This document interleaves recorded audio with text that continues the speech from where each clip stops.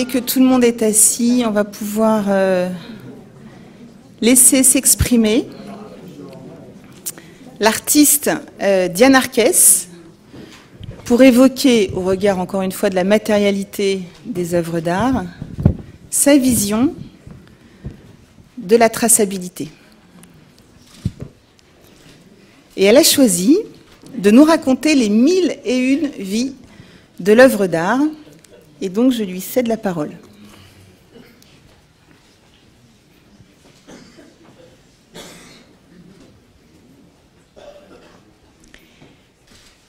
Je mesure 2 mètres 267 de hauteur et 1 mètre 93 de longueur. Je suis un camailleux de rouge, de blanc et de noir, issu d'un mélange de peinture à l'huile et de peinture de bâtiment de la marque Ripollin. Je n'ai pas d'acte de naissance à proprement parler, mais j'ai un certificat d'authenticité qui m'a été délivré par un comité d'experts il y a trois mois. Je viens tout juste d'arriver à Paris, dans le musée de mes rêves. Je vais y rester de manière permanente, grâce à mes chers propriétaires qui ont décidé de me confier à cette prestigieuse institution. Une promise gift, conclue il y a sept mois. On m'a placé dans la grande salle 206, au niveau 2. Je suis sous haute surveillance. La température est de 19 degrés et le taux d'humidité relative est à 55%. Je suis présentée avec une documentation de photographie, de textes, qui explique ma genèse et des œuvres qui m'ont inspirée. Je reçois actuellement de nombreuses visites du monde entier. Avant mon arrivée à Paris, j'ai beaucoup voyagé et vous pouvez toujours détecter chez moi un léger accent. Je suis née au Mexique, à Villahermosa, il y a 47 ans, dans le modeste atelier d'un peintre mexicain. J'ai été créée grâce à la commande d'un mécène, poète, collectionneur, galeriste à New York, qui m'admirait.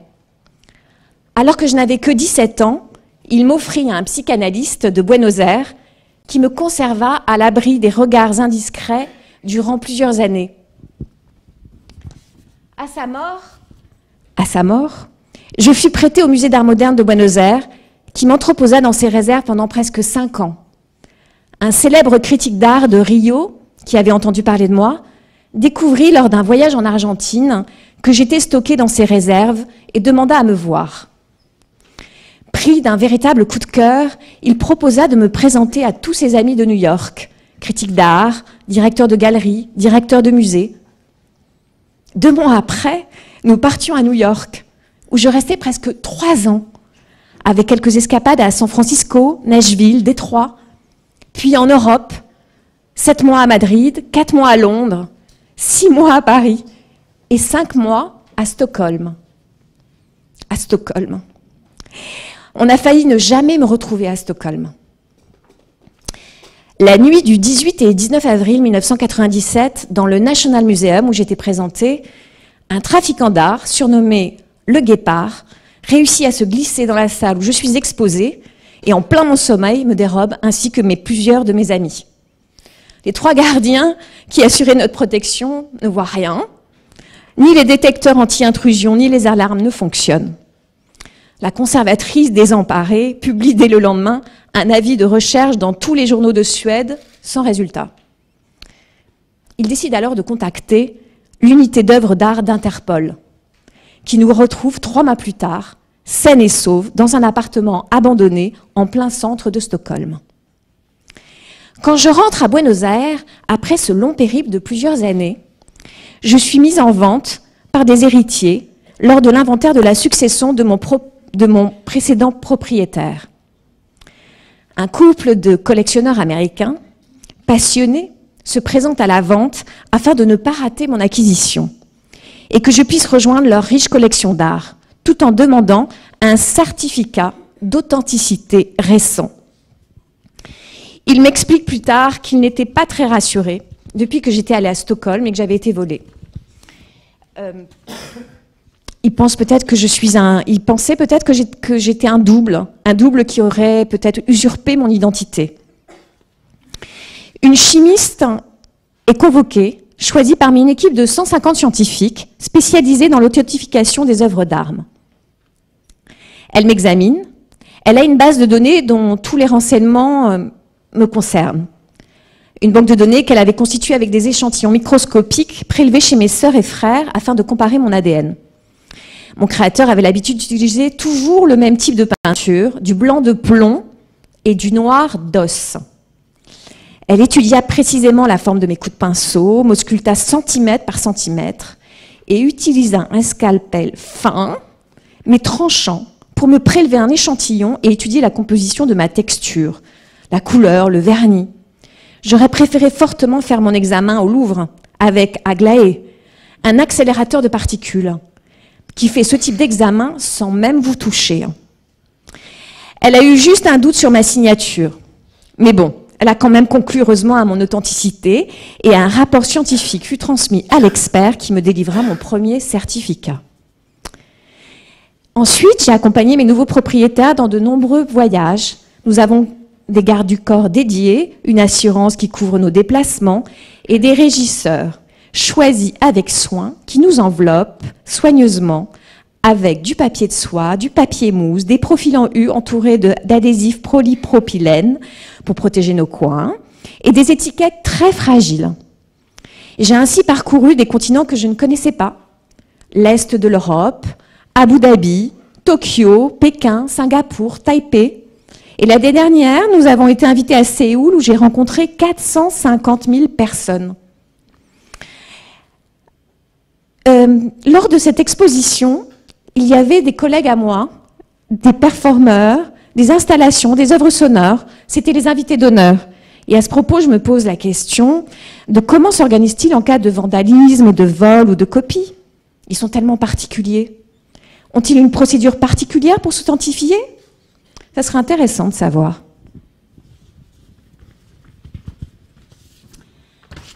Ah, je suis tellement content d'être installée à Paris après tous ces voyages qui m'ont épuisé. Un peu triste de quitter ce couple d'amis, mais ici, je suis entourée d'une équipe formidable. Ils ont récupéré tout l'historique des différentes expositions auxquelles j'ai participé. Mes différents propriétaires, une description détaillée de ma composition, les courants artistiques auxquels j'ai appartenu, et ils m'ont même offert un numéro d'inventaire, le numéro AM 1985-176. J'ai même été photographiée de face, profil, de trois quarts et en détail pour une publication prochainement dans le catalogue raisonné de mon créateur qui présentera dans trois ans une exposition monographique.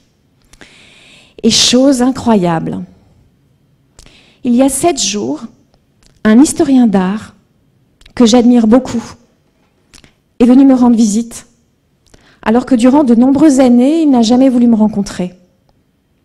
Il vient s'asseoir depuis sept jours devant moi et ne me quitte pas des yeux.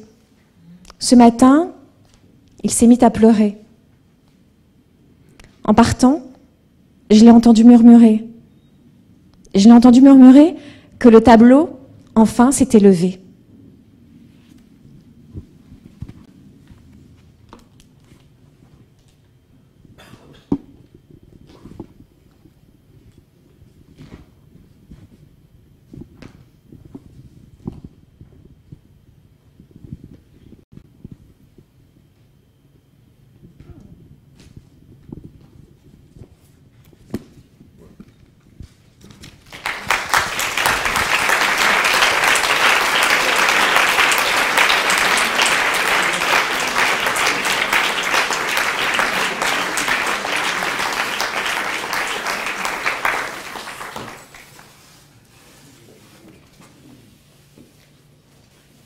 Merci.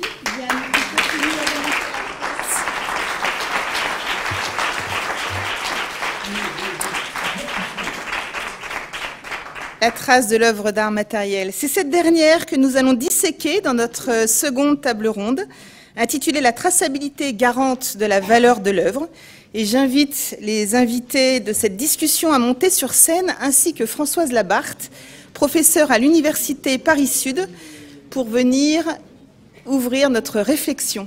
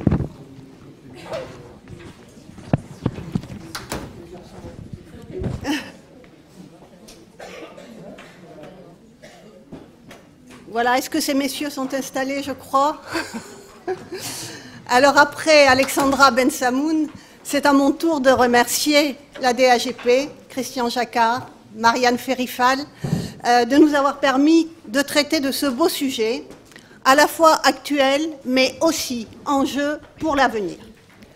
Au regard du marché, la traçabilité d'une œuvre et son histoire, qui part de la création, donc de son auteur, comme nous venons de le voir, mais s'en émancipe pour devenir un objet susceptible d'appropriation. C'est le résultat de la double nature de l'œuvre d'art, comme disait Marianne, œuvre travail de création, œuvre objet de commercialisation. La traçabilité part de la création puis va au-delà, jusqu'à la connaissance plus ou moins précise des chemins que l'œuvre aura parcourus, de ses divers possesseurs, tels que nous l'a retracé si bien Diane Arquès. C'est cette histoire qui est fondamentale pour le marché, car celui-ci n'est pas uniquement attaché à l'esthétique. Est-ce que l'œuvre me plaît et quel prix suis-je disposé à en donner pour pouvoir la posséder? Il est un conglomérat d'attentes. Renommée de l'artiste, provenance de la chose, époque. La traçabilité devient de plus en plus garante de la valeur Certes, ce besoin de connaissance n'est pas nouveau, loin s'en faut, mais il est aujourd'hui amplifié pour plusieurs raisons. Accélération des échanges, nombreuses affaires de faux, bien sûr, trafic d'œuvres illicites, blanchiment d'argent. Il est amplifié aussi parce que l'achat d'œuvres d'art n'est pas le seul fait d'amateur et qu'il est de plus en plus conçu comme un placement.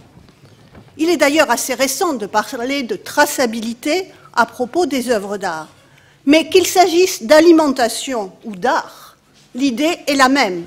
Connaître l'histoire de l'œuvre, pas seulement celle de sa création, mais celle de ses diverses appartenances. Alors, le marché de l'art ne serait-il pas différent de celui de la viande? Si, bien entendu.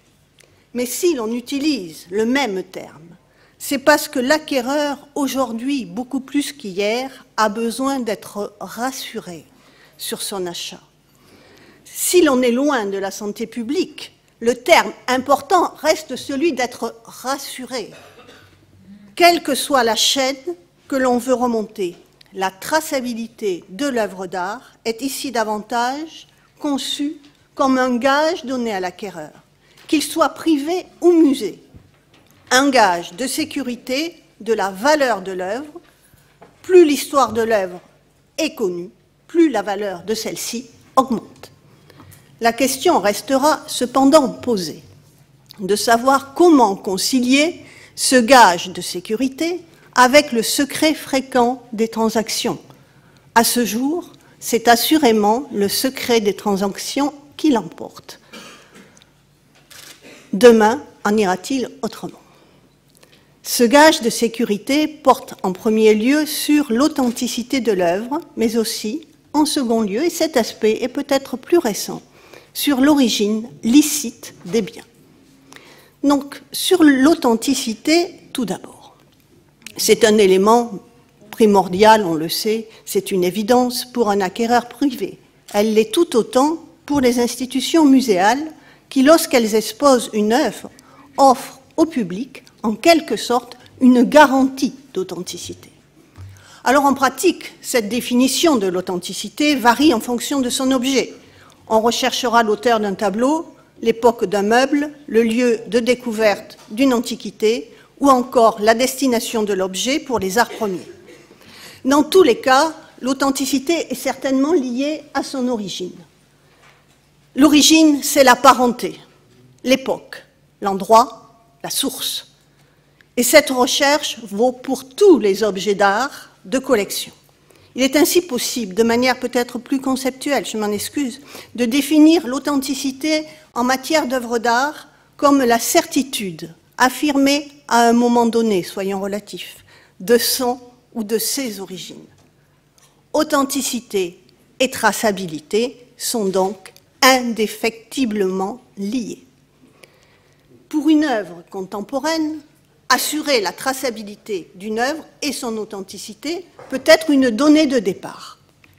À l'artiste, au galeriste, de faire en sorte que l'origine de l'œuvre puisse être établie et son parcours connu. Les nouvelles techniques y contribueront. Je crois que cela sera un nouvel enjeu pour notre siècle. Artistes, à vos pinceaux, à vos pochoirs, vos logiciels et à vos marqueurs électroniques. Reste à savoir si cette traçabilité sera réellement voulue par les vendeurs, les acquéreurs, et si les passeports ou puces électroniques accompagnant une œuvre ne seront pas perçus comme une contrainte difficilement supportable. C'est la balance des intérêts qui l'emportera. Pour les œuvres plus anciennes, lorsque l'œuvre a déjà été plusieurs fois transmise sans que l'on connaisse ses acquéreurs, et qui plus est si l'œuvre n'est pas connue, alors il faudra tenter de reconstituer son histoire. Il s'agit là d'une véritable enquête. La signature est le premier indice, visible de tous, apposé par l'artiste, c'est le cordon ombilical qui le relie à son œuvre. Cette paternité, ou maternité, puisqu'on parle de cordon, peut toutefois être reniée, d'où une difficulté supplémentaire lorsque l'œuvre déjà en circulation voit sa signature rejetée, sans parler de l'œuvre signée par l'artiste, qui en réalité ne sait plus si le tableau est vraiment de lui véritable enquête où la signature n'est qu'un indice parmi d'autres. On sait toutes les vicissitudes qui entachent la signature. Les galeristes qui accompagnent les artistes dès leurs premiers pas et les suivent parfois pendant de longues années peuvent aider dans cette quête des origines, par leur connaissance et par les archives qu'elles possèdent lorsque la galerie est elle-même ancienne. Lorsque l'artiste n'est plus là, il n'est pas rare que soit créé un comité d'artistes. C'est ici l'histoire qui se perpétue, au travers des héritiers, des proches ou encore des experts. À l'origine, si ces comités se sont constitués pour la défense de l'œuvre, la logique a voulu qu'ils authentifient également. Par leur avis éclairé, leur connaissance spéciale de l'œuvre, ils pourront ou non délivrer un certificat d'authenticité. Outre leur analyse visuelle, peut-être de leur cinq sens, nous dira Meret Meyer, ils pourront ou non délivrer un certificat. Et c'est cette analyse qui va aider dans l'authentification. Eux aussi, comme les galeristes, possèdent des archives, et ce sont ces archives qui nous permettront de connaître le parcours de l'œuvre. La tendance est générale. Il existe une exigence de plus en plus importante du marché quant à la provenance de l'œuvre et son authenticité. Il ne suffit que de regarder les cartels dans les diverses biennales. Détenir un certificat d'authenticité n'en est qu'un exemple. Alors en parallèle au comité, il y a bien entendu tous les divers experts qui interviennent sur le marché, les commissaires-priseurs, les marchands, les sachants. Ce savoir qui fait l'expert est de nature variée. Il allie souvent les diverses formes de l'analyse, stylistique, scientifique, mais aussi étude de la provenance. Les institutions muséales jouent aussi un rôle important et ont des instruments dont ne peuvent disposer euh, les privés. On pense tous à Aglaé, par exemple. Le but est toujours la recherche de l'authenticité. Un des autres enjeux de la traçabilité est le lien entre l'œuvre et la question de sa reproductibilité. Alors certes, la question n'est pas nouvelle, puisque Walter Benjamin en parlait déjà dans les années 30. Mais elle est aujourd'hui amplifiée par le phénomène de la reproduction en 3D, qui, si elle n'est pas voulue par l'auteur, est de la contrefaçon. Voilà ce faisant que l'on s'approche de l'autre fonction de la traçabilité, gage de sécurité de l'origine licite du bien. Alors connaître l'histoire de l'œuvre est aussi la garantie d'acheter un bien qui ne pourra pas être revendiqué. C'est une autre sécurité. C'est aussi un sens de l'éthique, un sens de la morale lorsqu'on pense aux biens archéologiques dont la connaissance de l'origine est encore plus cruciale tant le trafic est important. Et cela vaut non seulement pour les biens arrachés à leur environnement, mais aussi ceux qui ont été volés dans les musées et servent à d'occultes financements. Les risques sont assez grands. Il est fondamental de s'assurer que le bien acheté ne provient ni d'un vol ni d'une spoliation. Pour l'acquéreur d'une œuvre volée, y compris s'il est de bonne foi, effectivement les risques sont grands. Restons dans cette hypothèse de bonne foi et laissons de côté l'aspect pénal, qui est encore une autre question. Mais si quelqu'un a acheté un bien qui appartenait à une collection publique ou au mobilier d'une église, eh bien, ce bien est inaliénable. Son vol est imprescriptible. Par le biais des musées, si l'œuvre réapparaît, l'objet pourra être revendiqué. L'acquéreur d'un bien acheté à un particulier est un peu plus protégé, mais souvent, le trafic est d'origine internationale et la position des victimes de vol varie. On comprend donc les divers enjeux de la traçabilité, et ce, au regard de la valeur de l'œuvre. Pensons cependant que voleurs et faussaires savent aussi s'adapter aux nouveaux besoins du marché, et que s'il est désormais nécessaire de produire pour vendre une œuvre un historique des analyses techniques et autres certificats, ces documents peuvent eux-mêmes être des faux. Nul doute que ces divers points méritent discussion et pour cela je vais donner la parole à Harry Bellé, journaliste au Monde, que je remercie d'avoir accepté de jouer le rôle de modérateur, comme je remercie d'avoir, euh, comme je remercie les divers, les, les intervenants, pardon, euh, d'avoir accepté de partager leur expérience avec nous tous. Et parmi eux, alors donc, je vais donner leur nom, même si Harry le redonne après. Euh, Véronique Jäger, de la galerie Jeanne Bücher-Jäger. Meret Meyer, vice-présidente du comité Marchagall. Michel Menu, directeur du département recherche du C2 RMF. Stéphane Teffaut, commandant de police. Et Vincent Nos, journaliste. Je vous laisse faire, mon cher Harry Bellé.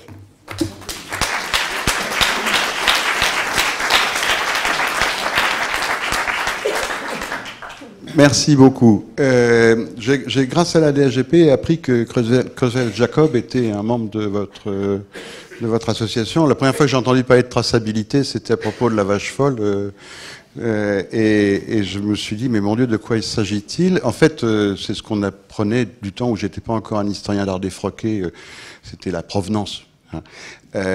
Et, et, pour les certains marchands, ça s'appelle le pédigré, à la limite, je préfère encore traçabilité. Euh, cela dit, au fond, c'est pas totalement dépourvu de sens parce que euh, je relisais il n'y a pas très longtemps un livre ancien du seul grand historien d'art qui est écrit sur les faux, c'est Otto Course dans les années 1930. Euh, qui faisait remarquer que si on pensait parfois qu'il y avait des que Corot n'était pas un très bon peintre, c'est parce qu'il y avait tant de faux qui avait forcément des, mauvais tableaux. En fait, le faussaire, avant de nuire euh, aux acheteurs, avant de nuire aux vendeurs, il nuit d'abord à l'artiste. Et ça, je pense que c'est quelque chose que la traçabilité ou la provenance euh, peut, peut, aider à, contrôler. Euh, voilà, il y avait des artistes qui faisaient attention à ça, et dès le début, au XVIIe siècle, Claude Lorrain avait créé son Liber Veritatis. C'est-à-dire qu'il reproduisait, parce que lui-même avait été contrefait, il reproduisait tous ces tableaux dans un grand carnet qui est maintenant au British Museum. Euh, et comme ça, il y avait aussi le nom de ses acheteurs déjà. Donc dès le XVIIe siècle, les artistes qui s'occupent de ça, j'ai eu, euh, grâce à la Fondation Giacometti, quand ils ont fait leur exposition euh, à Rennes, il y a pas, non pas à Rennes, à Landerneau, pardonnez-moi, je me trompe de supermarché. Y a, ils ont fait leur exposition il n'y a pas très longtemps. Ils montraient des carnets de Giacometti où Giacometti reproduisait ses sculptures avec le nom des, des collectionneurs des dix sculptures. Donc les artistes eux-mêmes s'en occupent parfois. Euh, ils n'ont pas l'occasion de le faire. Euh, heureusement pour eux, il y a des euh, galeristes, des ayants droit, donc des comités, euh, des enfants, des petits-enfants euh, qui peuvent faire ce travail. Alors je, je vais prendre la, la, plus, la plus jeune d'entre elles, puisqu'elle est née en mai 1924. Je parle de la galerie Jeanne Bûcher, qui, a, qui a 25, pardonne-moi. Euh, qui, qui, donc, vous, savez, connaissez tous l'histoire de, de, la galerie Jeanne Boucher, sinon je vous encourage fortement à vous procurer le catalogue de l'excellente exposition qui avait eu lieu il y a quelques années au, au musée de Strasbourg, euh, qui rappelle l'histoire de cette femme qui était assez extraordinaire, euh, et de ses descendants, qui sont pas mal non plus. Euh, mais surtout, je me souviens que dans un certain nombre d'histoires de faux, euh, ce sont grâce aux archives des galeries euh, qui sont souvent bien tenues. Je pense à celle de Quentin Laurence, euh, dans le cas de Braque notamment, euh, et dans le cas de quelques faux récents. bon, bah, quand les faussaires veulent se confronter à la réalité des archives, ça ne marche pas toujours. Bonjour. alors, comme Marie Bellel a exprimé, j'ai repris la direction de la galerie Jeanne Bûcher. Donc Jeanne Bûcher était mon arrière-grand-mère. Elle a fondé sa galerie en 1925, après avoir commencé par l'édition et les traductions, puisqu'elle parlait couramment l'anglais, le, le, français et l'allemand, et avait traduit des poèmes de Rilke et de Strindberg. Et euh, elle a donc, elle est montée à Paris euh, de son Alsace natale, venue à Paris dans les années 20. Elle a eu la chance de connaître Jean Lursa et Pierre Charot, Pierre Edoli Charot, et Pierre Charot lui a donné sa première chance puisqu'il lui a offert un local au-dessus de sa de son magasin de, de meubles rue du Cherche-Midi et où elle a commencé comme librairie étrangère et euh, éditrice. Et donc elle a commencé à éditer des des jeunes artistes. Euh, sa première édition date de 1926 avec Max Ernst, euh, où elle a effectivement montré les grattages et, euh, de, de, de, Max Ernst. Et puis, euh, elle a maintenu cette activité d'édition d'ailleurs tout au long jusqu'en 1946. Et euh, elle a ensuite poursuivi, évidemment, avec tous les artistes avant-garde qui venaient à Paris euh, dans les années, dans ces années-là. On se rend compte que l'Europe était déjà extrêmement présente. Et donc, Vieira da Silva en 1930, Kandinsky euh, dans les années 40. Elle a montré donc Max Ernst, Picasso, Miro, euh, le Nicolas de Stahl dans les années 40. Euh, je, je, je n'arrive pas à donner la Lipschitz aussi dans les années 30. Je veux dire, la liste est évidemment très longue. Euh, elle, euh, elle est décédée en 46 et mon père donc reprend la galerie en 1947 à l'âge de 23 ans. Mon père a aujourd'hui 94 ans, il est tous les jours à la galerie, bon pied bon oeil comme dirait Jean Dubuffet et euh, il est voilà, il vous, ouvre, il vous offrira un verre de Fernet Branca si vous venez le voir et vous parlera avec beaucoup de, de joie de, de, des peintures. Je dois dire que c'est assez extraordinaire après 70 ans d'activité de le voir toujours euh, regarder ces tableaux. Voilà. Et donc j'ai repris la direction de la galerie en 2003. Euh, initialement avec mon frère Frédéric, on a rejoint la galerie rue de Seine, donc qui n'était pas l'espace historique d'origine, mais un espace euh, ouvert par mon père en 1960. Et puis, euh, on a d'abord commencé par montrer des expositions monographiques d'artistes euh, qui, ont, qui ont toujours été là depuis l'origine. Et, euh, et, et, et, puis, j'ai... J'ai ensuite poursuivi euh, en décidant d'ouvrir un nouvel espace euh, après avoir montré quelques-uns d'entre eux rue de Seine dans le Marais et où j'ai effectivement développé avec dix nouveaux artistes euh, qui sont soit jeunes, soit pas jeunes, ça n'a pas d'importance, mais dont l'œuvre pour moi est euh, assez précurseur. Pourquoi la, la vache folle? La traçabilité. La traçabilité. Alors. Le, le, on a effectivement, je veux dire, à la suite de, de toutes les expositions qu'on a montrées, on a effectivement été placé petit à petit euh, devant des demandes de, de, plus en plus croissantes, alors soit d'expositions, soit pour des expositions monographiques, soit de, de conservateurs, de critiques, d'auteurs, euh, sur effectivement nous ramenant à nos archives. Et donc, euh, tout en voulant aller l'avant avec des nouveaux artistes, puisque c'est quand même une, une passion, je dois vous dire, et c'est un intérêt, on a été aussi euh, énormément amené à replonger dans nos archives, et la notion de provenance et traçabilité a été donc à plusieurs niveaux. D'une part, bon, on est allé voir nos euh, traçabilités, c'est d'aller voir les livres de police qui sont tenus par une galerie, les livres d'entrée et sortie, les courriers, les, les, les, toutes les correspondances avec les artistes. On a la chance d'avoir à la galerie des archives extrêmement fournies et bien tenues je dois dire, et je euh, remercie mon père de, de m'avoir fait ce leg parce que ça nous a permis de pouvoir partir aussi à la recherche de notre propre histoire et de l'histoire de la galerie et des artistes qui y ont montré et de découvrir des choses absolument passionnantes. Alors dans le, la traçabilité, évidemment, il y a beaucoup d'exemples et je vais pas euh, qui nous sont euh, proches. Euh, on a effectivement retrouvé euh, des, des, un avocat américain qui vivait à Paris dans les années 30, qui est parti ensuite s'installer en Virginie et qui avait, euh, dont on s'est aperçu que pratiquement plus d'un tiers de sa collection était en, actuellement en Virginie avec des œuvres de, de Beauchamp, de Lursa, de Hans Reichel. Euh, on a ensuite retrouvé une partie de la conférence de Jeanne Bûcher euh, en 45 quand elle est invitée par Alfred Barr, euh, intitulée L'art sous l'occupation, où elle parle du climat qui se, qui se trouve à Paris au moment de l'occupation. Et je dois dire que l'intégralité de la conférence n'y est pas, ce qui est bien dommage mais en tout cas, elle nous a appris beaucoup de choses. Et puis, euh, j'ai été, euh, tout en vous donnant des exemples de traçabilité, contactée en 2004, à peine arrivée, un an après mon arrivée à la galerie, par Jack Flam, qui travaillait sur le catalogue raisonné de Motherwell, et qui m'a dit, écoutez, Jeanne Bûcher a ramené des Motherwell. Je lui ai dit absolument pas. Il m'a dit, si, si, si, cherchez. Et donc, nous avons cherché, nous avons trouvé, je l'admets, un carton qui avait été fermé en 1947 avec une mention inconnue, et puis différents artistes, et on a retrouvé quatre collages de Motherwell, dont un collage assez extraordinaire que nous avons présenté au Guggenheim à, à, New York et à Venise, euh, puisque cette œuvre n'ayant jamais été montrée à la lumière, euh, avec un papier qui provenait à l'époque du Mexique. Euh, Motherwell était parti au Mexique, et donc euh, et Motherwell avait fait huit collages avec ce papier, et le nôtre était le seul, effectivement, à n'être jamais passé. Les, les, sept autres sont dans des collections euh, institutionnelles aux États-Unis.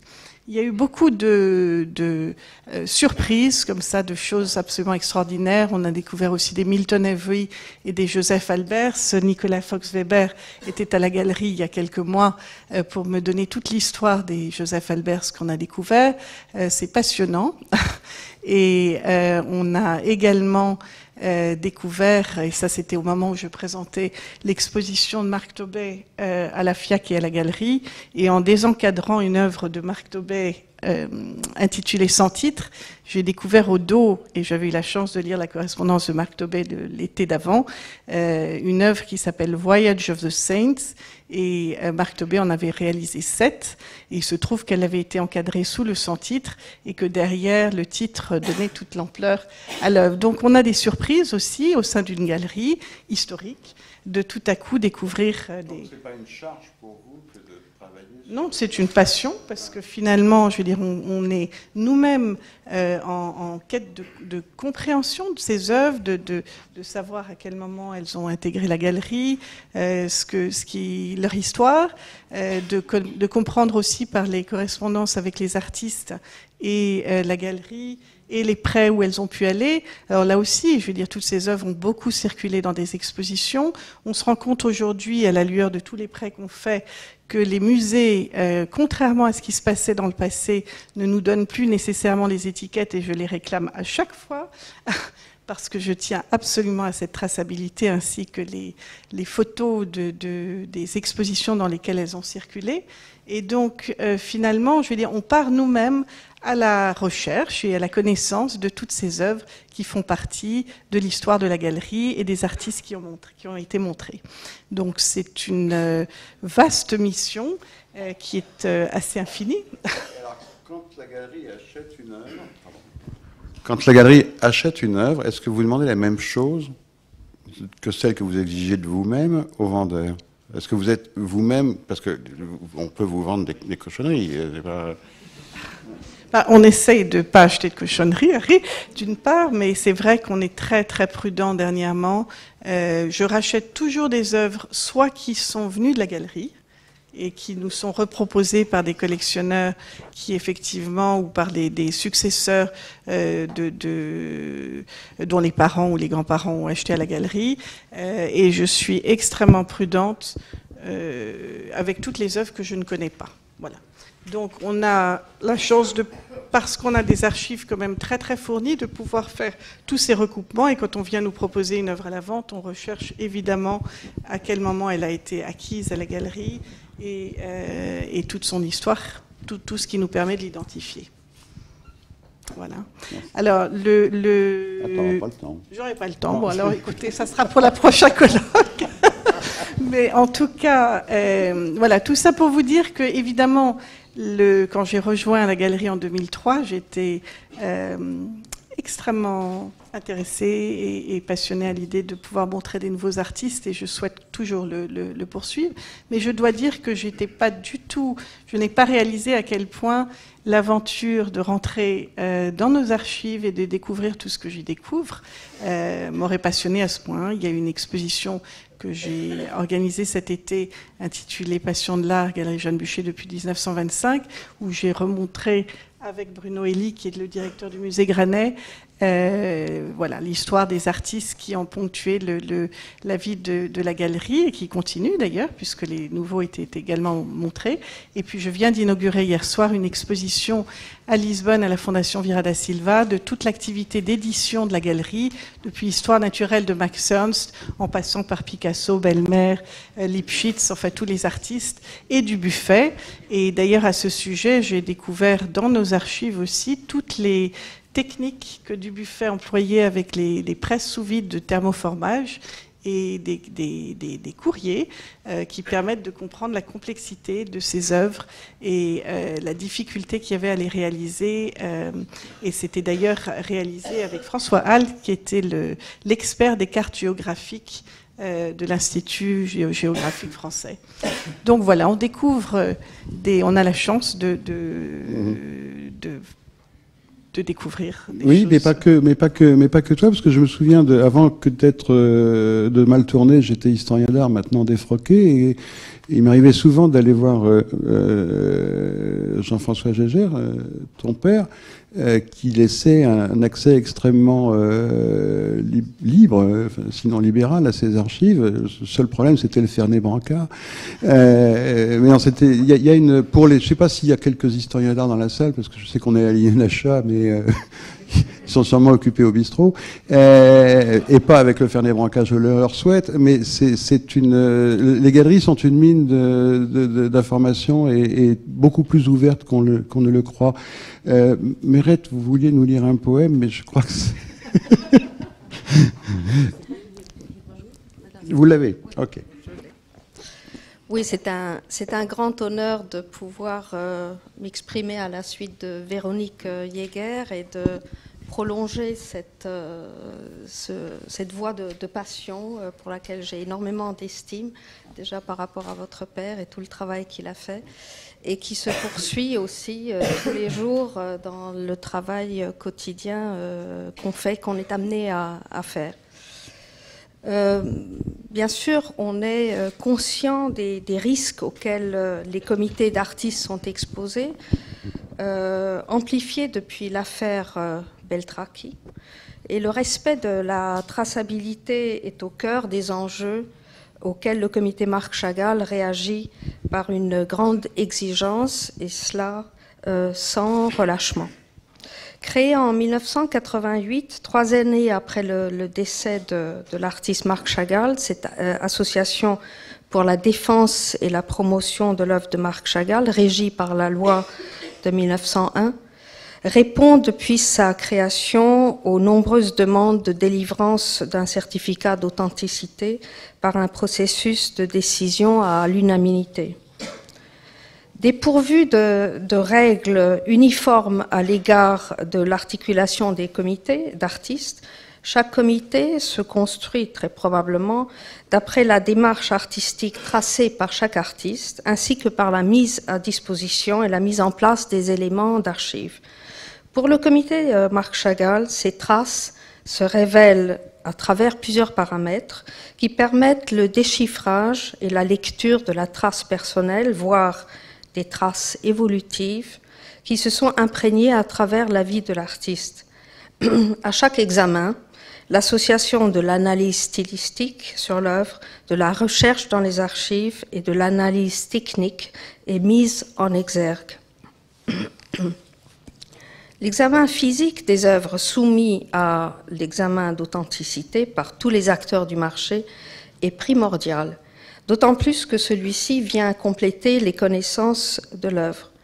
Par cette proximité avec l'œuvre et l'exploration euh, visuelle, une réelle relation, je dirais même charnelle, se constitue avec le traitement de la matière artistique de l'artiste que les membres du comité défendent.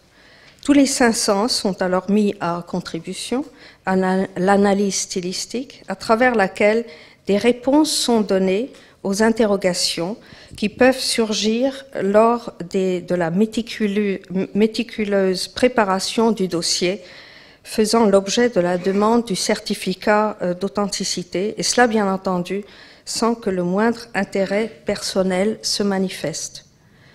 L'étape préliminaire à l'examen physique interroge particulièrement le lien entre la provenance et l'authenticité, car tous les éléments contenus dans les archives consultées par le comité, qu'il s'agisse des nombreux ouvrages conservés dans la bibliothèque, des documents, de la correspondance et des répertoires établis par l'artiste ou ses membres de la famille, et cela en dépit de l'émigration et de l'exil de l'artiste pendant la Deuxième Guerre, sont sans exception source d'informations précieuses.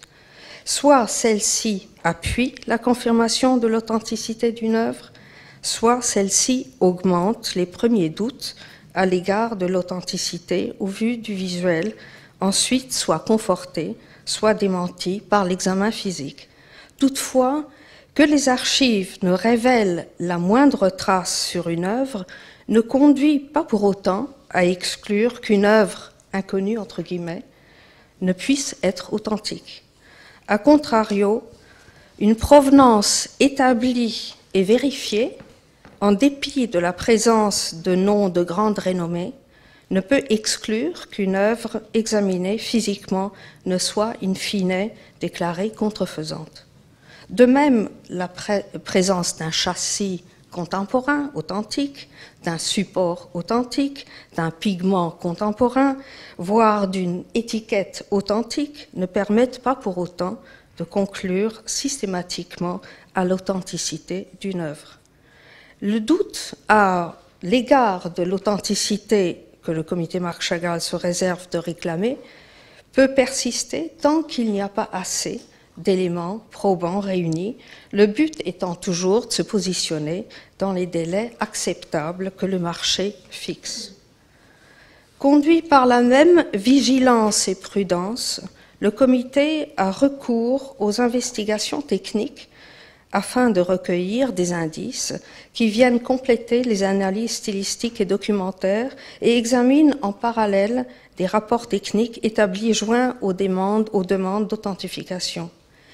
Si toutes ces demandes, euh, si tous les examens permettent de conclure à l'authenticité d'une œuvre, un certificat d'authenticité est alors établi, ce document essentiel devenu incontournable participant à l'établissement de la valeur marchande et par conséquent à la commercialisation de l'œuvre.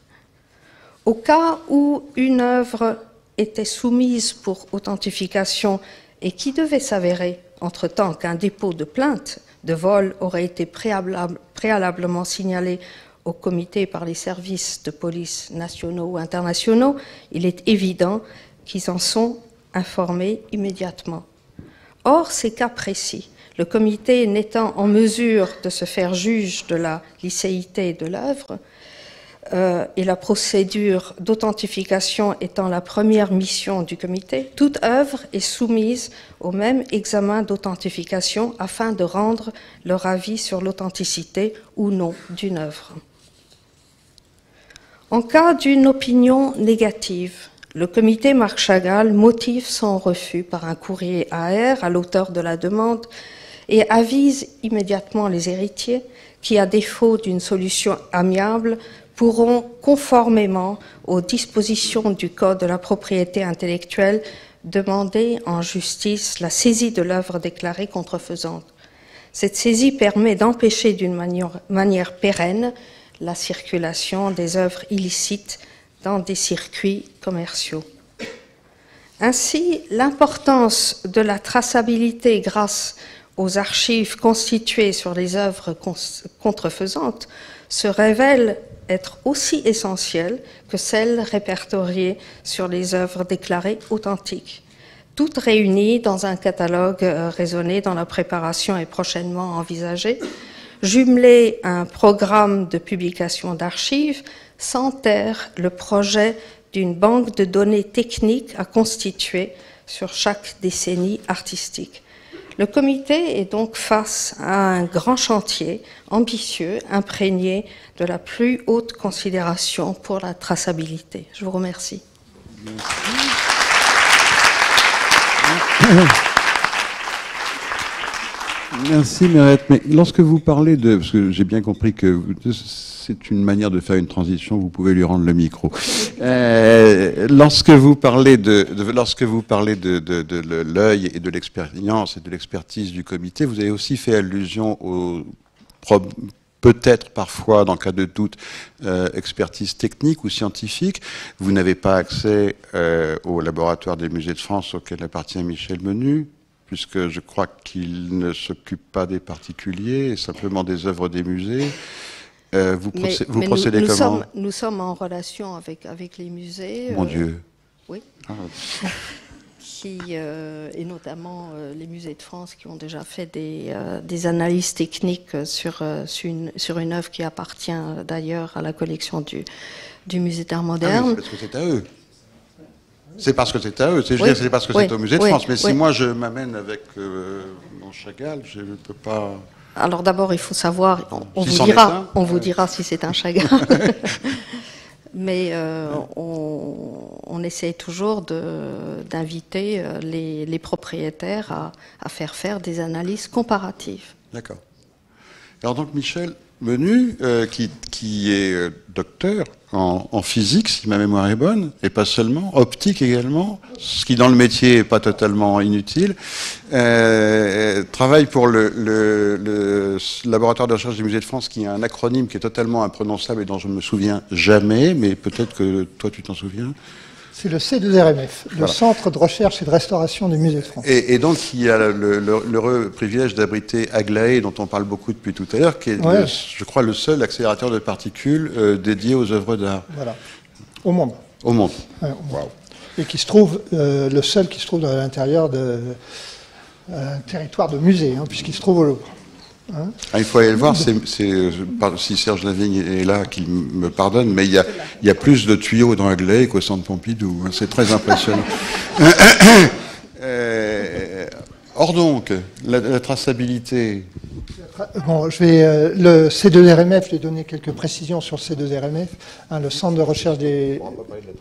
Mais je vais parler de la traçabilité, euh, des cochonneries et puis des, de la vache folle. Ça, c'est- tu verras tout à l'heure. voilà. Et donc, euh, un service à compétence nationale du, et donc, euh, du ministère de la Culture ne travaille que pour les 1200 musées, les quelques 1200 musées de France. Euh, donc il est euh, partagé en trois départements. Un département restauration qui assure le contrôle scientifique et technique de l'État sur les restaurations des œuvres. Et là j'en parlerai un instant. Comment tracer aussi également les restaurations des œuvres. Et ça on peut aussi avoir euh, quelques idées. On a fait des recherches qui vont dans ce sens un département de conservation préventive qui s'intéresse aux questions d'environnement des œuvres euh, quand elles sont euh, conservées dans les galeries ou dans les réserves. Et puis le département recherche que je dirige, un laboratoire euh, d'examen et d'analyse des œuvres qui regroupe plus de 50 personnes, qui est associé au CNRS et euh, donc qui a aglaé l'accélérateur Grand Louvre d'analyse élémentaire qui va euh, être rénové, donc on va euh, faire l'inauguration de nouvelle Aglaé au mois de novembre, le 23 novembre prochain. Voilà, avec, nous l'espérons, le, le, ministre de la Culture et le ministre de la Recherche qui, qui viendront. Donc le laboratoire, dès son origine, le département recherche, donc, partage son activité entre une mission de service et une mission de euh, recherche, chacune étant, euh, chaque activité étant euh, s'appuyant sur l'autre. donc il y a une recherche sur l'origine, la provenance, euh, la redécouverte des techniques qui euh, va donner de nouveaux critères de, euh, pour les expertiser, expertiser les œuvres, et je donnerai euh, quelques exemples tout à l'heure. Et d'autres, l'autre activité, c'est une activité que je ne, qui peut être intéressante, c'est une activité qui va s'intéresser sur les altérations des matériaux, l'interaction des matériaux entre eux, et qui va donc fournir des euh, des critères pour euh, euh, connaître le vieillissement, si le vieillissement est, disons, naturel ou artificiel. Voilà. Donc, dans le cadre de cette journée, je vais prendre deux, points. Donc, un point qui est lié à l'expertise, qui a été aussi une mission qui nous est confiée, qui a été confortée à la suite des euh, euh, histoires des fauteuils qui ont été achetés euh, à Versailles. Et donc le C2RMF, hein, le C2RMF hein, donc, dirige un comité d'expertise où on retrouve le laboratoire de recherche des monuments historiques, le mobilier de France et également l'équivalent du C2RMF à Marseille qui est le CICRP. Et puis un deuxième point euh, que j'aborderai, c'est la traçabilité des, interventions en restauration, comme je l'ai dit. Donc pour l'expertise, euh, c'est euh, dans le cas qui est ici, c'est l'authentification d'une œuvre, que ce soit pour l'identification d'une falsification volontaire ou pour l'évaluation d'un niveau d'authenticité. Euh, pour, cette, pour cela, ça résulte de regards multiples, de compétences et d'expériences euh, croisées entre l'historien d'art, classiquement l'historien d'art, euh, le physico-chimiste et le restaurateur. Donc les examens, les méthodes d'analyse et la datation absolue, le, le laboratoire possède plusieurs euh, méthodes de datation absolue, le C14, euh, la thermoluminescence pour retrouver la date de dernière cuisson d'une céramique, par exemple. On évoque, euh, dans la première table ronde, on a évoqué les objets d'art africain, et donc c'est une méthode pour dater certaines statuettes de céramique. Et euh, donc, euh, ces, méthodes d'examen et d'analyse sont parfois insuffisantes pour parvenir à une conclusion certaine, euh, notamment du fait de la grande compétence des faussaires. qui lisent très bien nos publications, savent très bien comment, par exemple, un, je vais prendre un exemple qui est, trop, euh, mais je laisserai euh, euh, un autre journaliste évoquer cette question-là. Mais bon, disons, on a travaillé sur Van Gogh, sur l'atelier de Van Gogh. Bon, donc on a une grosse publication qui a été réalisée par le musée Van Gogh il y a trois ans. Bon, un faussaire de Van Gogh va, je serai faussaire, j'irai lire tout de suite cette publication. Euh, euh, voilà, donc c'est euh, cette expertise technico-scientifique est juste un jalon. Et donc on doit les confronter aux questions qui, aux, données, hein, aux archives qui, que, vous avez évoquées, vous mesdames, juste avant moi. Euh, donc il y a aussi un autre projet qui est en cours, euh, qui va sans doute, euh, qui va avoir lieu avec l'université de Cergy-Pontoise. Euh, c'est de mettre en place un pôle de sécurité du, du patrimoine, avec qui va combiner les deux axes que souhaite euh, poursuivre l'université de Cergy-Pontoise, à savoir euh, la sécurité et le patrimoine. Et donc, euh, ce serait un pôle où il y aurait l'université de Cergy-Pontoise, le C2RMF et la gendarmerie nationale. Donc, deux exemples. deux exemples, un ancien optimiste lié à l'imagerie, et puis un autre peut-être plus récent concernant l'analyse.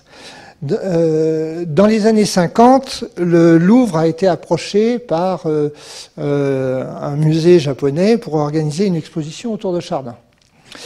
le conservateur du Louvre de l'époque était rétif de prêter une œuvre de Chardin, et donc il se propose de prêter une œuvre attribuée à Chardin, qui n'était pas en vache folle, mais qui était un nature morte au pot-au-feu.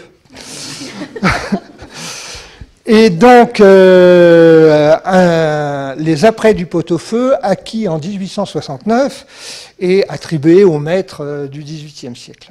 Avant le départ de l'œuvre, euh, le tableau arrive au laboratoire, on fait les examens habituels, photo, radio, infrarouge, ultraviolet. Et les ultraviolets, on retrouve la signature, la signature d'un peintre oublié, Michel Antoine Bougneux, euh, euh, dont on a rapidement refait euh, la généalogie, le pédigré. Hein. donc aujourd'hui, en fait, il est ce tableau est exposé avec le cartel où il y a marqué Michel-Antoine Ougneux. Et puis on a même enlevé le glacis qui recouvrait la signature, et donc on a sa signature qui révèle.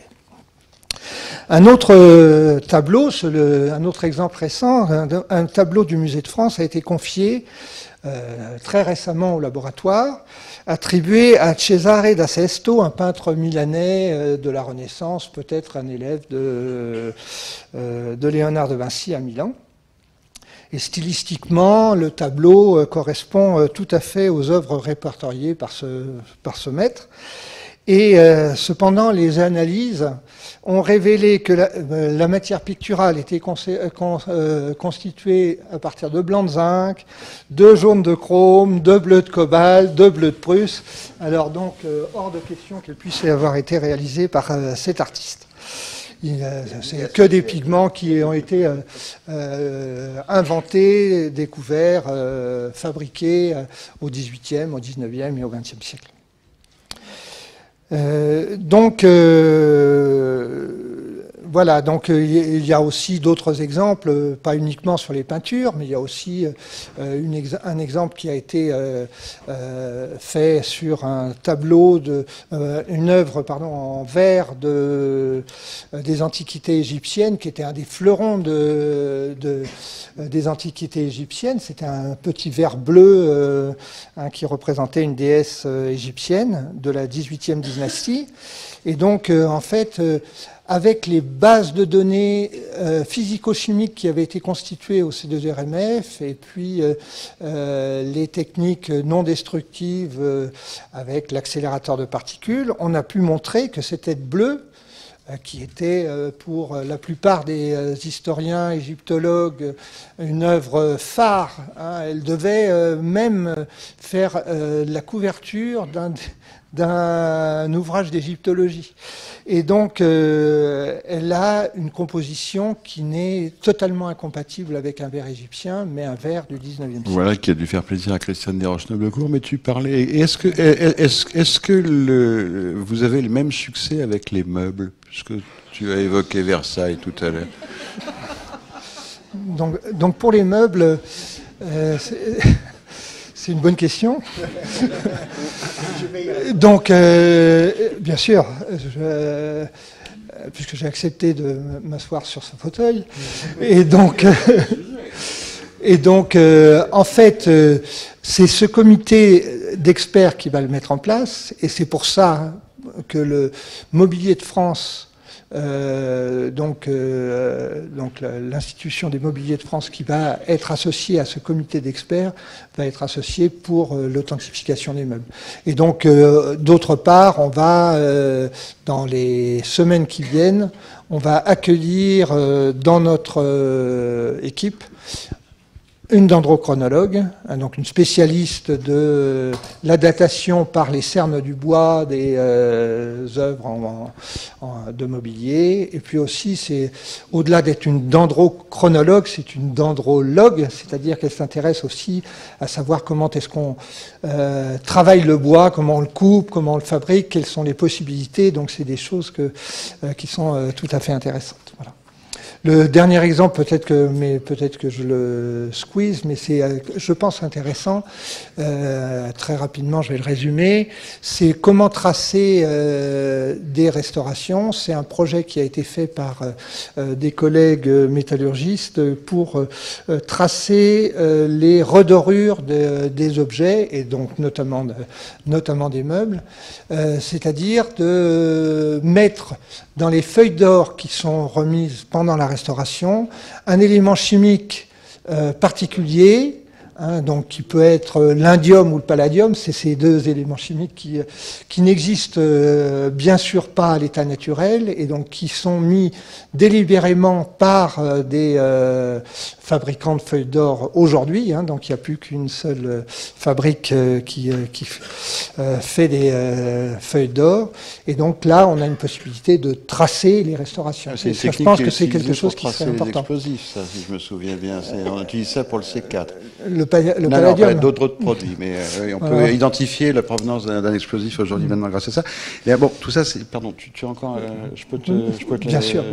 Merci beaucoup, Michel Menu, d'avoir tenu les délais. et alors, euh, bon, ok, les, les, les, techniques scientifiques sont à peu près au point, peut-être même pour le mobilier. Euh, mais quand il s'avère, et les archives sont tout à fait fiables, euh, et, et, surtout quand on les conserve bien. Mais quand il s'avère que des, euh, quand il s'avère que euh, les archives sont tellement fiables qu'on n'a pas besoin de recourir à l'expertise. C'est un cas assez récent. Euh, qui a eu lieu en Grande-Bretagne et qui témoigne de l'imagination des faussaires. Deux un faussaire et son, et son complice. Le faussaire faisait des très mauvais tableaux.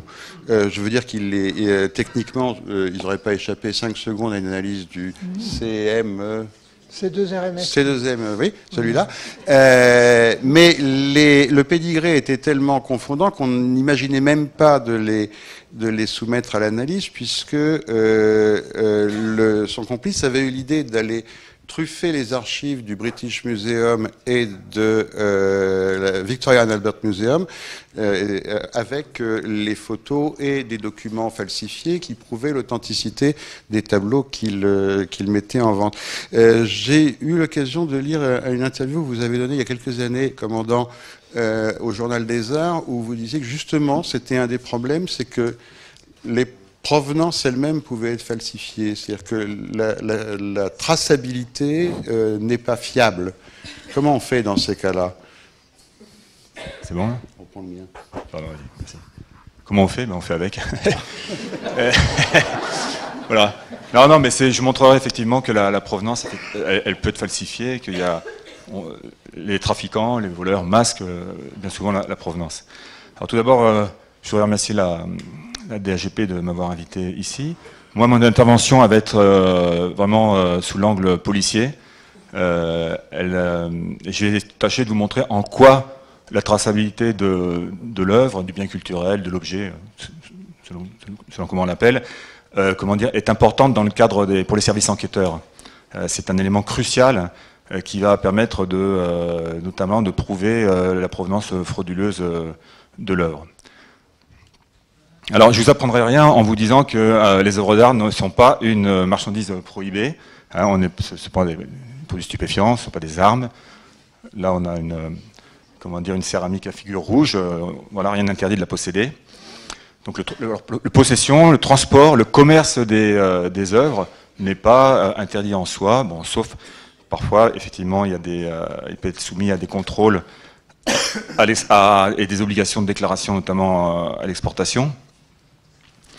Mais tout ça veut dire quoi Qu'il va falloir pour les policiers, pour les services enquêteurs, prouver euh, l'origine frauduleuse de, l'œuvre, et c'est là que ça se complique, avec notamment le problème de la traçabilité, je dirais plutôt le manque de traçabilité euh, par rapport aux, objets qui peuvent être amenés à rencontrer, que ce soit lors d'un contrôle, d'une perquisition, d'une saisie, euh, comme on va le voir.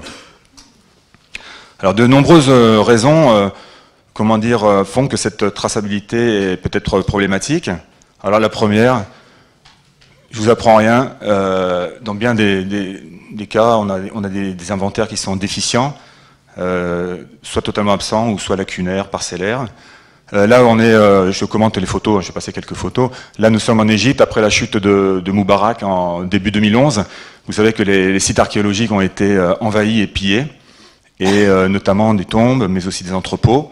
Et là, en l'occurrence, ces, ces personnes qui sont vraiment de bonne volonté, à la vue d'anciens registres, essayent d'identifier les, objets qui ont été volés.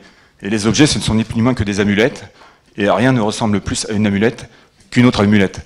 Donc c'est vraiment une tâche euh, pharaonique, c'est le cas de le dire, que d'essayer de, euh, de, déterminer ce qui a été volé. Alors des inventaires aussi qui sont souvent peu utilisables. Euh, combien de fois les gens viennent avec des, des photos? Ils sont très contents de nous montrer les photos, mais les photos, elles sont inexploitables. Les bases de données d'objets volés, pour qu'elles soient performantes, il faut que ce soit des photothèques pour pouvoir retrouver les œuvres après. Là, en l'occurrence, à gauche, vous voyez, c'est très difficile de retrouver le, portrait, bien sûr.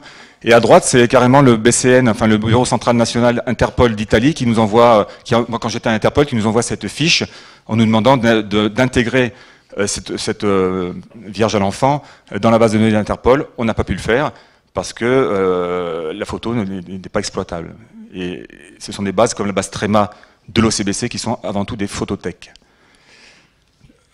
Et là, le, alors le problème des inventaires se pose bien sûr, enfin se pose se pose pas à la limite pour les objets archéologiques où on a comment dire des bien sûr les, les objets qui sont sortis illicitement ils peuvent bien sûr, ils, ne bénéficient pas de photographie, bien entendu. Et là, que ce soit les Wakeros ou les, euh, Tombalori euh, en Italie, euh, voilà, ils, participent à un trafic qui est facile et à, comment dire, à, exercer. Donc voilà, les problèmes d'inventaire, ça c'est le premier obstacle auquel se, heurtent les services enquêteurs. Voilà, on parlait de maquillage. Voilà. Là, le maquillage de la provenance des objets, avec notamment la fraude douanière, euh, que ce soit donc falsification de documents ou euh, fausse déclaration. La falsification de documents, vous avez sur la droite un certificat, euh, comment dire, qui accompagnait une œuvre saisie donc dans un aéroport de Paris. Et ce certificat était soi-disant venait d'Interpol, Interpol Abuja, donc au Nigeria. À ce moment-là, je travaillais à Interpol, donc les douaniers m'appellent et je leur dis, Interpol ne délivre pas ce genre d'un certificat. Voilà, c'est un certificat qui disait que le monsieur Intel, possesseur de cette, euh, œuvre, pouvait se balader dans le monde entier avec euh, l'objet parce qu'il faisait, euh, il avait, comment dire, répondu aux exigences voilà, d'exportation de, de l'objet, qui est, qui est donc une statue d'ESI, qui provient d'un village du sud du Nigeria, et qui est d'ailleurs un, objet qui est dans les listes rouges de l'ICOM. C'est un objet important.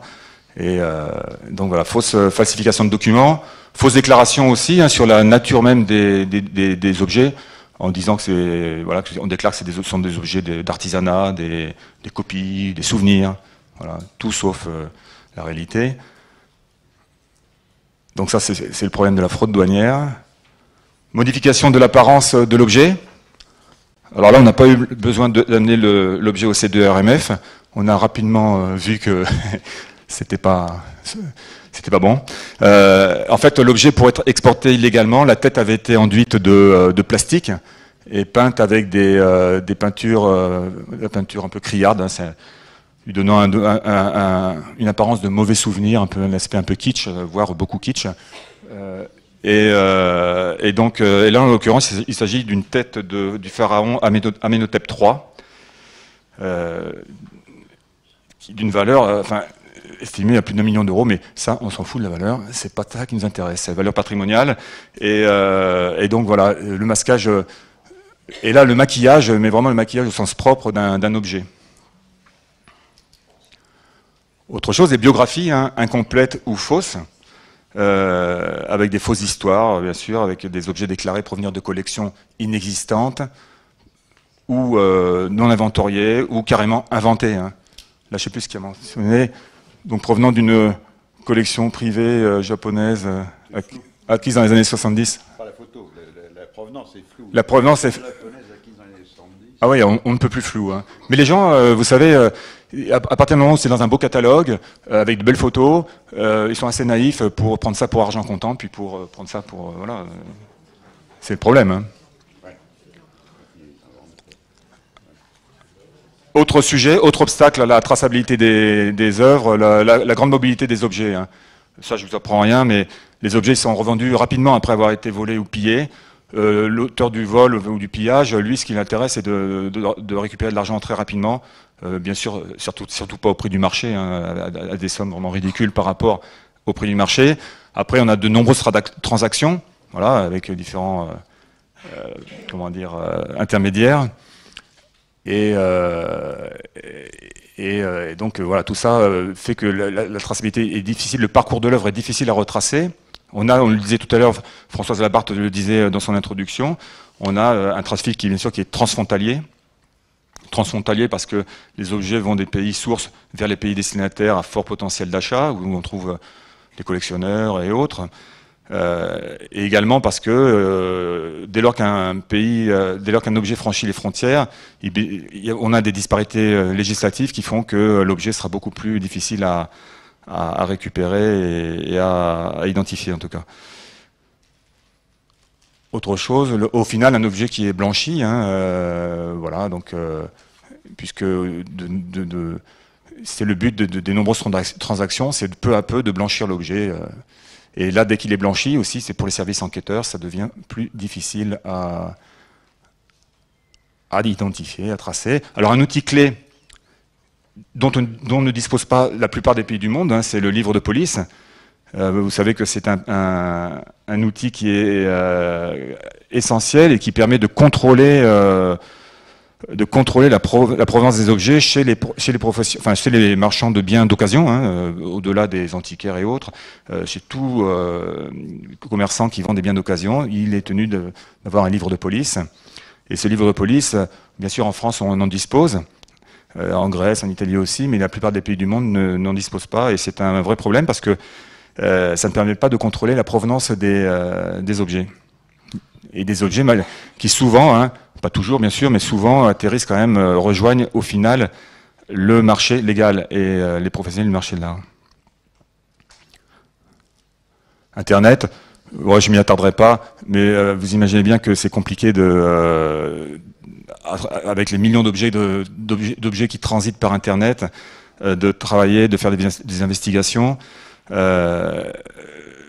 le principe de l'anonymat fait que c'est compliqué de, remonter aussi sur les vendeurs. Euh, on a un commerce qui est extra, extraterritorial, donc tout ça rend les, choses très difficiles. Alors, est-ce qu'il faut être fataliste devant euh, ces, difficultés ou au contraire se montrer un peu optimiste? Je ne sais pas. En tout cas, euh, ce qui est sûr, c'est qu'il y, a des axes quand même pour améliorer les choses. Je pense notamment à la, coopération policière internationale qui est, importante. Mais là, je peux vous dire, pour avoir travaillé à Interpol, que c'est pas gagné, hein, c'est compliqué. Euh, les niveaux de police de par le monde ne sont pas les mêmes. Il y a d'autres priorités dans bien des pays que la protection du patrimoine culturel et, des, œuvres d'art. Sinon, on peut espérer que euh, aussi euh, une collaboration plus forte avec les professionnels du marché, hein, que sont les antiquaires, les galeries, euh, aussi les collectionneurs.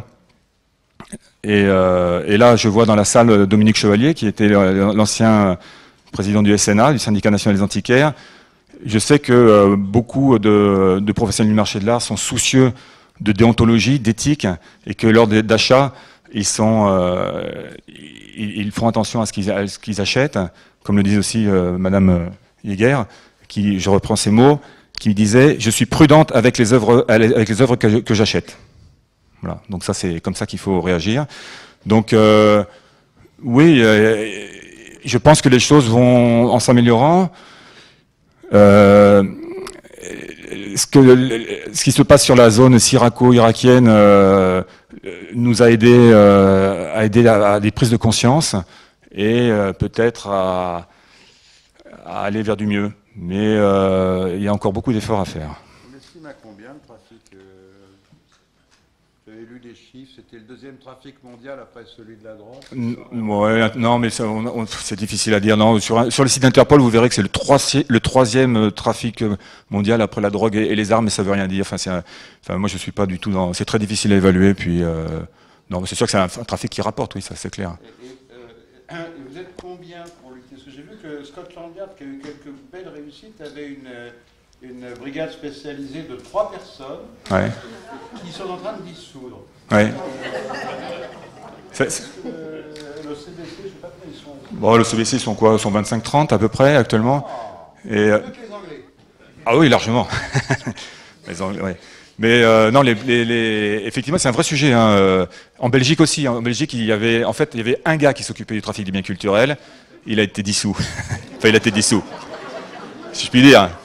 C'est imagé ce que je dis. Mais c'est vrai, il a l'unité à laquelle il appartenait n'existe plus. Voilà.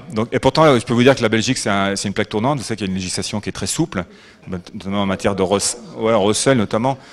Et voilà. Et euh, non, mais dans beaucoup de pays du monde, il n'y a pas d'unité spécialement dédiée à la lutte contre le trafic des biens culturels. Hein. C'est ça, c'est un vrai problème. Parce qu'ils ont d'autres priorités et autres. Hein. Merci. Je t'en prie.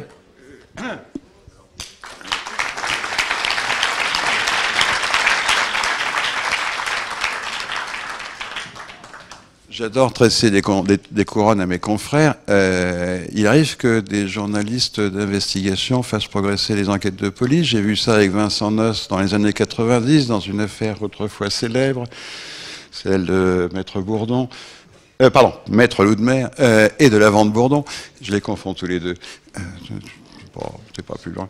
Et euh, il arrive aussi, ça n'a rien à voir avec la traçabilité, pardonnez-moi, euh, il arrive aussi qu'ils euh, se rendent compte, avant d'autres, que l'absence totale de traçabilité, ça peut vraiment poser un problème. Ça a été le cas, je crois, avec le premier, c'était un tableau de Cranach qui appartenait au qui appartient toujours, j'espère pour lui, au prince de Liechtenstein, exposé dans un musée et dont on s'est rendu compte qu'il surgissait de nulle part.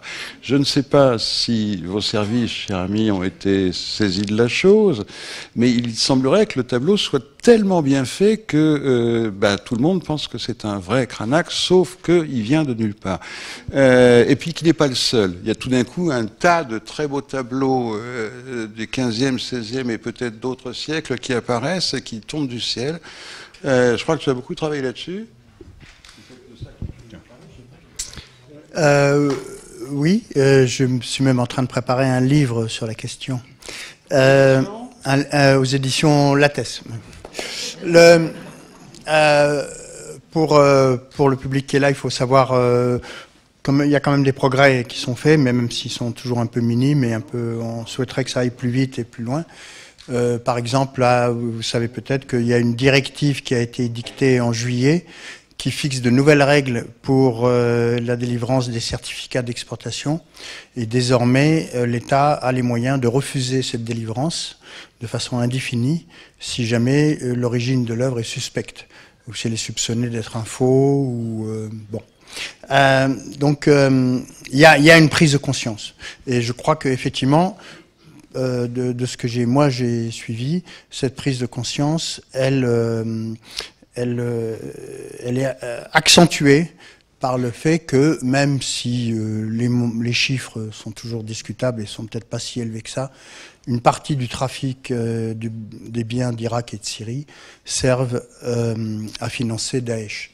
Donc évidemment, c'est quelque chose que personne, auquel personne ne peut rester indifférent.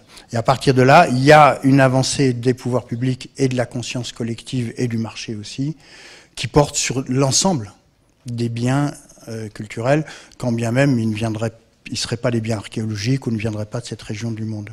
Et je crois que c'est, il faut jouer sur cette période pour continuer d'avancer, parce qu'on a affaire à un, véritable fléau. Alors moi, on m'avait demandé au départ de, de, un peu de prouver le postulat de Madame Labarthe, comme quoi la traçabilité d'une œuvre peut la valoriser.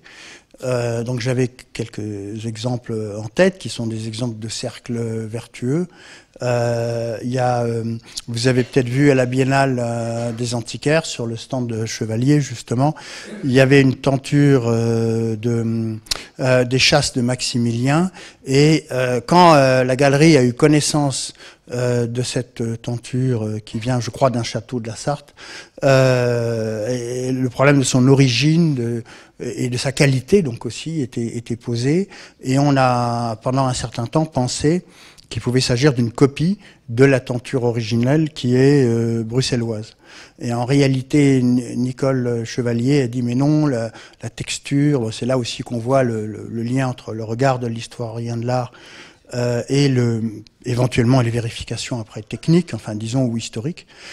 Euh, a dit mais non, euh, ça, ça, doit être français. Et en fait, euh, après recherche, la galerie a trouvé que ça avait été les, les, les cartons, enfin les, comme il n'y avait pas de carton justement, plutôt les sujets avaient été inversés. Euh, mais qu'en fait ça avait été refait par Colbert et après être resté un certain temps dans la collection de Colbert parce que c'est tout ça n'était pas toujours très net, euh, et il est rentré dans la collection royale. Alors là, évidemment, on a un cas où l'œuvre a valu euh, euh, finalement a été valorisé, valait beaucoup plus cher même. il m'a pas dit combien de zéros il avait ajouté, Dominique, mais il me le dira un jour. Euh, et euh, il l'a vendu à, à, Bill Gates. Et donc l'histoire de l'œuvre continue, puisque Bill Gates finalement euh, euh, n'a pas voulu la garder, mais le fait qu'elle ait appartenu à Bill Gates est encore un élément de valorisation, évidemment, euh, de l'œuvre. C'est pas n'importe qui, c'est pas n'importe quel personnage. Et, et, mon avis, pour moi, ça dit, ça dit quelque chose. C'est que une œuvre d'art, ce n'est pas. Euh, j'ai entendu le mot de pureté euh, cet après-midi. Une œuvre d'art, ça n'a rien de pur. L'art, ça n'a rien de pur. une œuvre d'art, c'est une fabrication. C'est une fabrication matérielle, c'est une fabrication mentale, bien entendu. Euh, et c'est euh, c'est une histoire. Et c'est aussi l'histoire de cette œuvre. Comment elle a été regardée, comment elle a été comprise, pas comprise, rejetée, retrouvée, etc. Comment elle a fait peur, comment elle a pu susciter des espoirs. Et l'œuvre d'art, c'est aussi ça. L'art, c'est aussi cela. Et évidemment aussi sa valeur monétaire. Ça, c'est quelque chose qu'on a souvent entendu. Oui, la valeur marchande, les grands collectionneurs, les capitalistes, Pinault, etc.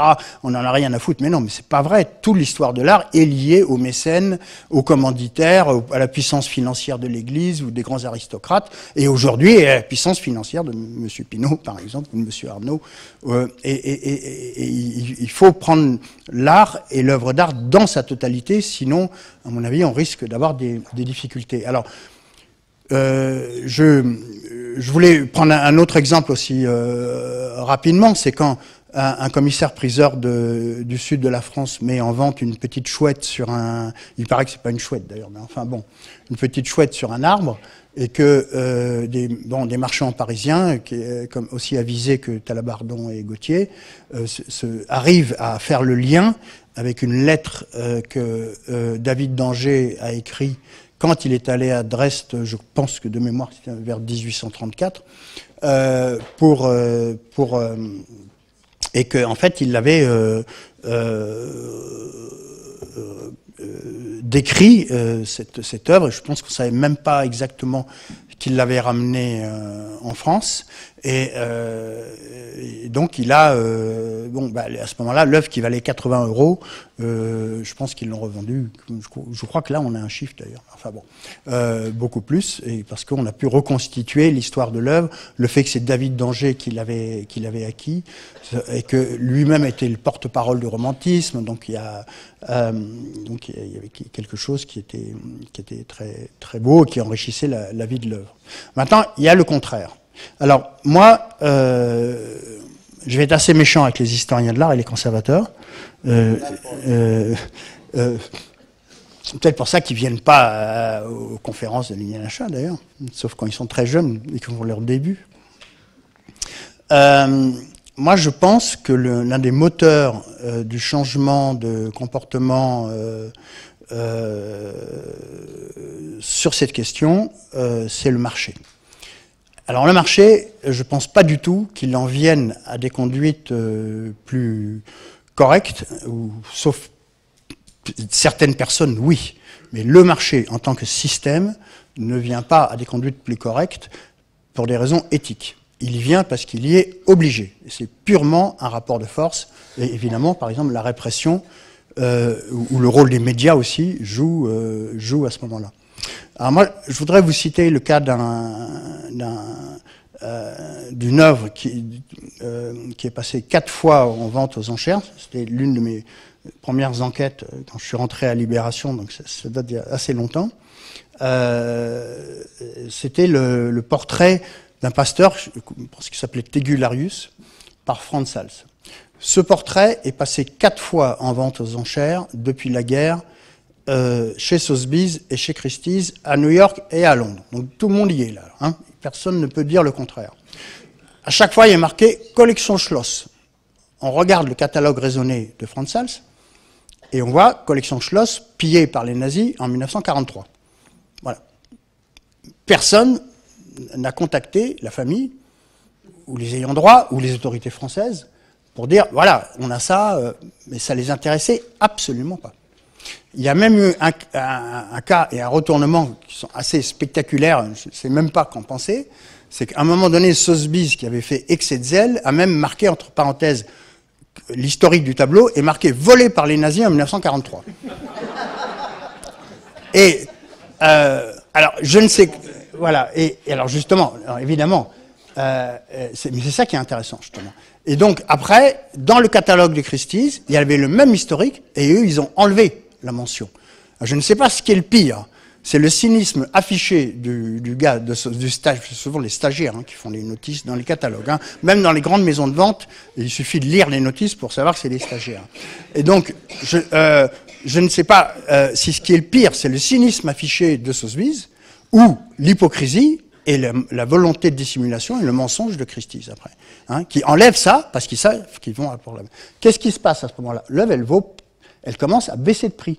Elle passe, elle est ravalée, elle passe de vente en vente, et en fait, elle commence à baisser de prix. Parce que les gens se disent, oula, euh, qu'est-ce qui va m'arriver? Jusqu'au dernier gars, qui est le pauvre, qui s'appelle Adam Williams, qui est la galerie euh, Newhouse, euh, qui rentre, qui dit, qui, est, assez sympathique, un peu, qui a été un peu débordé par cette histoire, et qui dit qu'il rentre dans la salle et qu'il lève la main et qu'il l'achète chez Christie's. Et qu'il l'amène à la Biennale des Antiquaires. Où là, évidemment, nos amis de l'OCBC, n'est-ce pas, avertis, euh, vont et saisissent l'œuvre, et lui, après, il a été, il a été condamné. Et et, je ne sais pas comment Christie s'est débrouillé pour ne pas être amené dans, le procès. Alors là, là aussi, les choses ont changé, parce que les magistrats, euh, quand même, euh, ont maintenant aussi des visions plus claires qu'à l'époque. Hein. Et lui, il a dit, moi, je l'ai acheté, c'est Christie, j'avais la garantie, etc. Je savais pas du tout ce que c'était la collection Schloss, euh, j'ai rien compris. Et pour son malheur, il, il avait produit un témoignage, je ne sais pas quel travail ont fait ses avocats, euh, un témoignage de traçabilité, justement, qui était extraordinaire, parce que c'était un, certainement un copain à lui, qui a dit non, non, c'est un très bon connaisseur de l'art hollandais. D'ailleurs, il s'était bien renseigné sur la collection Schloss avant d'acheter le tableau. Et donc, paf, il a été condamné. Et alors, je ne sais pas si cet ami avait fait excès de zèle et qu'en fait, a voulu rajouter ça pour faire bien, ce qui est tout à fait possible, hein, et qu'en fait, il était tout à fait innocent. Et, ou si, effectivement, il était plus euh, duplice qu'il n'en avait l'air. Euh, et, mais, euh, au bout d'un moment, Sotheby's et Christie, ils ont arrêté de faire ça. Pourquoi ils ont arrêté de faire ça? Pas parce qu'ils sont sympas, pas parce qu'ils sont moralistes, mais surtout pas ça.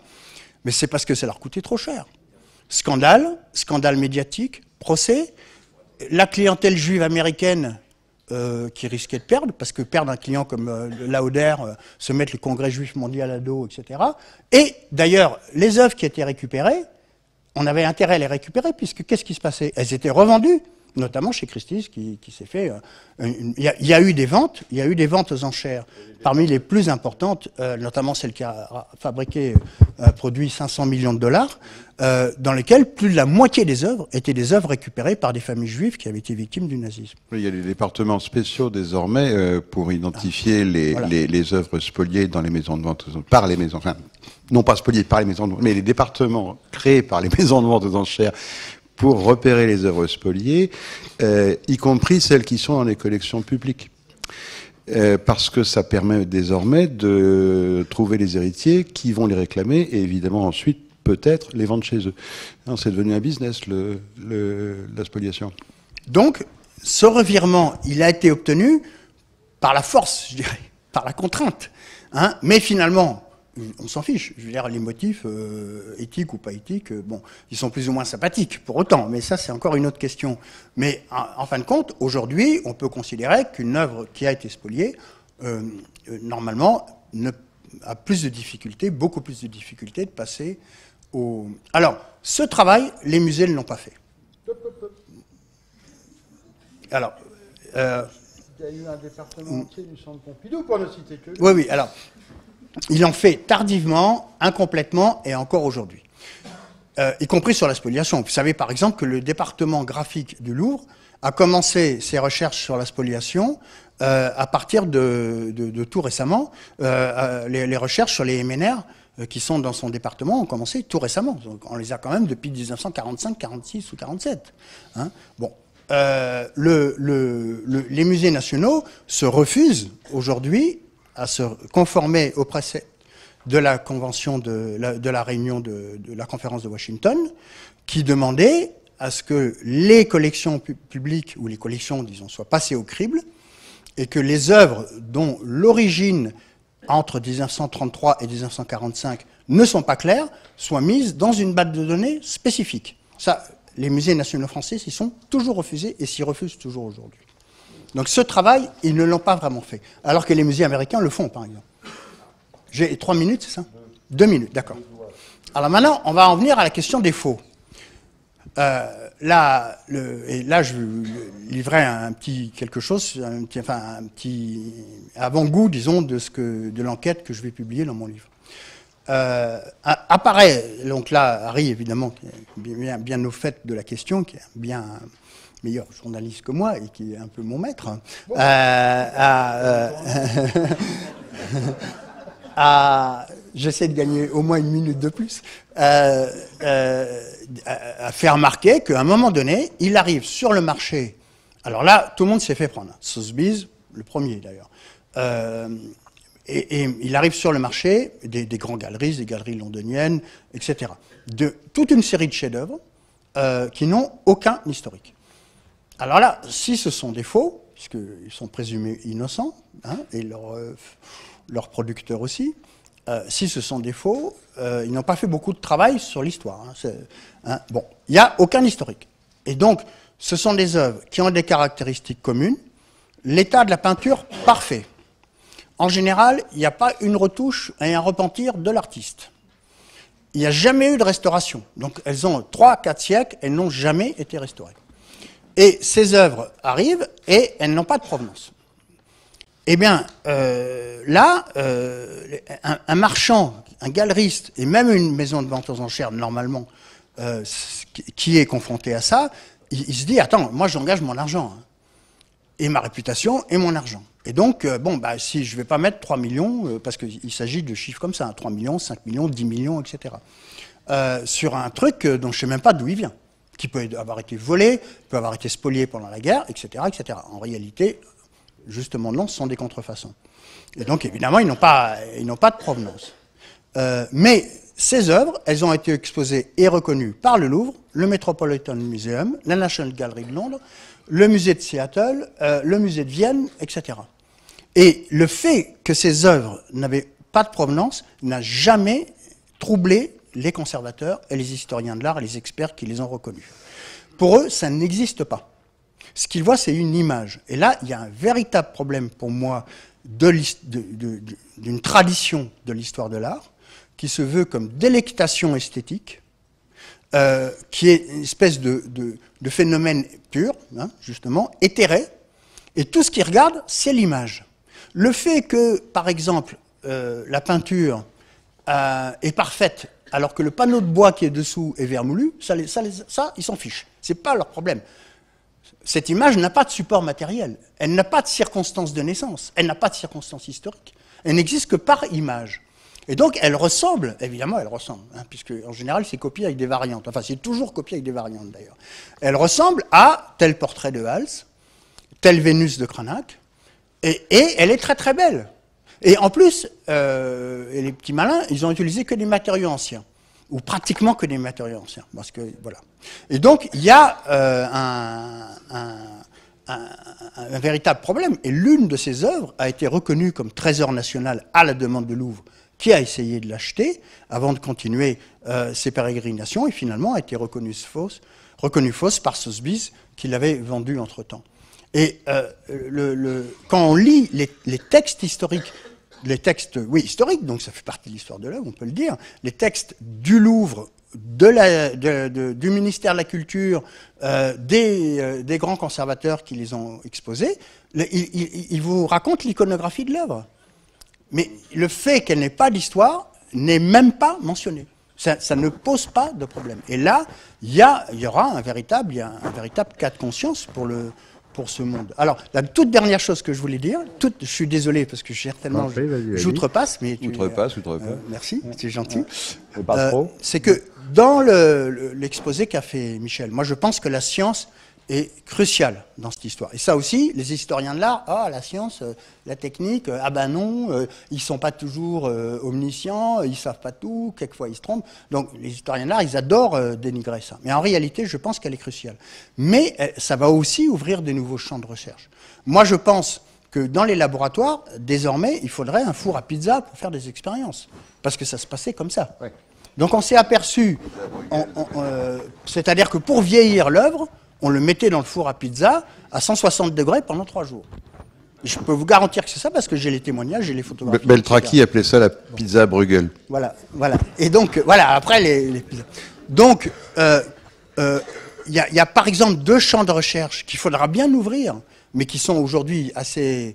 Enfin, relativement peu explorés. C'est comment se forme un réseau de craquelures, et ça fait partie de la traçabilité et de l'histoire de l'œuvre. Comment se forme un réseau de craquelures en deux siècles, trois siècles, quatre siècles, quand l'œuvre vieillit normalement et comment il se forme quand, justement, il, est dans un four à pizza? Et c'est pas le même réseau. Mais ça, c'est des choses qui sont encore très balbutiantes. Et l'autre chose que j'ai trouvé très intéressant, c'est que dans cette histoire, les différents, un des problèmes de cette histoire, c'est que les différents laboratoires ou institutions ne communiquent pas entre eux. Quelquefois, d'ailleurs, ils n'ont même pas le droit de communiquer entre eux. Euh, Michel, il n'a pas le droit de vous parler du rapport qui a été présenté parce qu'il est sous instruction judiciaire. Mais bon, moi, il se trouve que, par hasard, euh, dans ma, correspondance, euh, je n'ai pas eu, je n'ai pas eu le rapport de Michel d'ailleurs. J'aimerais bien l'avoir, mais dans ma correspondance, il y a des gens qui m'envoyaient des choses ou dans mes emails. Et là, j'envoyais aux, spécialistes à, Seattle ou à Williamstown ou à Londres euh, ou, euh, ou d'ailleurs, euh, bon même à Paris d'ailleurs, hein, n'est-ce pas Je disais voilà, ils ont trouvé ceci, ils ont trouvé cela, ils ont trouvé telle caractéristique, mais les gens eux ne le savaient pas. Et l'autre chose, par exemple, qu'on a, qu'on a trouvé dans, dans- dans toutes ces peintures, c'est des, alors c'est assez technique, hein, sont des protrusions de sel de plomb. C'est-à-dire qu'il y a une formation, une, dé- une dé- une dégradation, je suis sûr que Michel va tout de suite corriger mon, ignorance scientifique, mais euh, ce, sont, des formations dans lesquelles le plomb s'est associé euh, au liant et s'est dégradé dans le four à pizza. Et c'est la chaleur qui fait apparaître ces protrusions de plomb, qui forment des petites taches blanchâtres sur la peinture qu'au départ on ne comprend pas. Eh bien, et la deuxième raison pour laquelle, et ça, euh, si vous voulez, c'est quand même euh, euh, assez. la deuxième raison pour laquelle on trouve ça, c'est que dans ces peintures, il y a des particules de plomb en taux tout à fait anormal. Et l'une des raisons, c'est que les faussaires mettaient du plomb dans les vernis, pour pouvoir opacifier l'œuvre quand elle était regardée par lampe UV ou par rayon X. Et donc on ne pouvait pas voir les défauts de l'œuvre euh, c'est parce que ces images étaient illisibles. Mais ça, voilà, mais il a fallu reconstituer les caractéristiques communes de ces œuvres pour en arriver à ça. Et là, il y a des traces historiques, physico-chimiques de l'histoire de l'œuvre, et c'est ce genre de choses sur lesquelles il faut travailler. Et donc, il y a juste un petit souhait. Il y a juste un petit souhait. pas croire que j'ai une tendresse pour toi. Il y a juste un, souhait que je voudrais mettre dans cette histoire, que je vais mettre dans mon livre, c'est que ces œuvres, il ne faut pas les détruire. Il faut les garder. C'est une collection de référence pour moi. Hein, et donc qui pourra permettre d'autres examens et qui fait partie de l'histoire de l'art aussi, à sa manière. Bien, j'ai...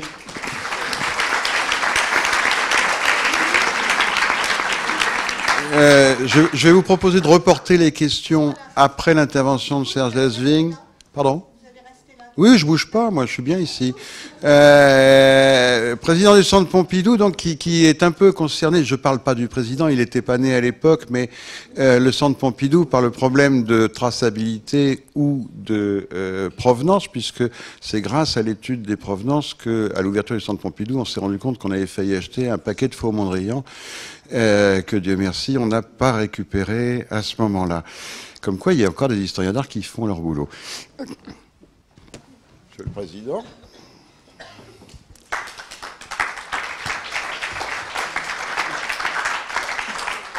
Prenez ma place, bonjour.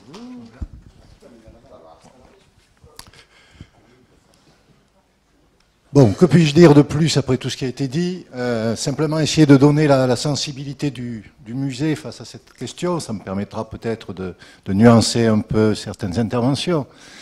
Euh, quand j'ai commencé à, parler avec les conservateurs de la question de la traçabilité, en leur disant, ben oui, il y, a, un colloque consacré à ce sujet, c'est vrai qu'ils m'ont regardé avec un peu d'étonnement en se demandant si, euh, au titre de mes nombreuses activités, je m'occupais maintenant de police sanitaire. Et puis, en réfléchissant un peu, on s'est rendu compte que finalement, la traçabilité, ça peut être une sorte de fil rouge qui permet, je dirais, de, se, de circuler autour des missions du musée. Et moi, si j'avais une première, euh, une première exigence de traçabilité à mettre en avant, ça serait, ce n'est pas les questions au départ d'authenticité, c'est tout simplement l'exigence scientifique. C'est-à-dire qu'une œuvre qui est dans les collections du musée, elle doit être connue, elle doit être étudiée, on doit travailler sur l'œuvre.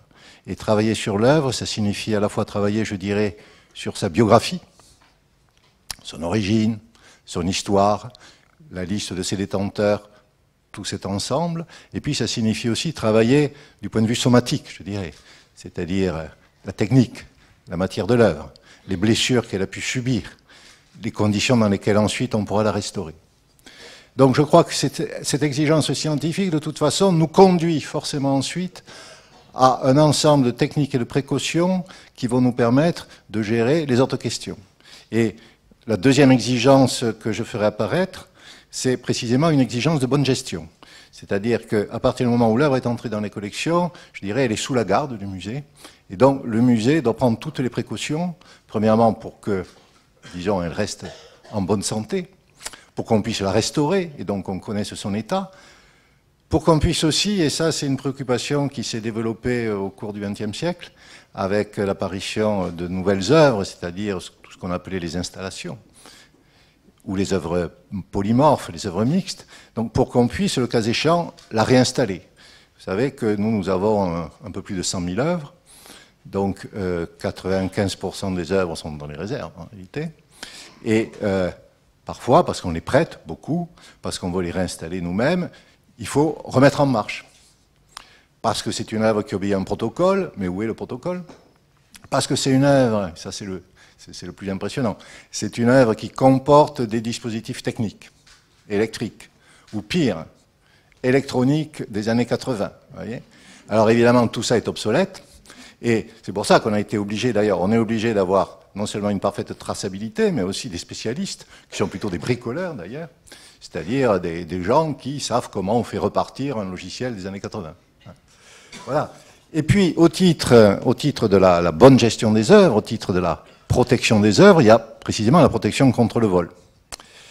Et euh, bah, là, il y, a un épisode, il y a un épisode qui est bien connu, parce qu'il a fait une actualité récente, qui est l'épisode de la coiffeuse de Picasso, vous savez, un petit chef-d'œuvre du cubisme analytique, qui, euh, un beau jour, il y a 17 ans, alors qu'il revenait d'une exposition en Allemagne, est rentré dans les collections, et puis on ne l'a plus jamais revu. L'embêtant, c'est qu'on ne s'est pas rendu compte qu'il n'y était plus tout de suite. Voyez on s'en est rendu compte quand un autre prêteur, quand euh, une autre personne en a demandé le prêt.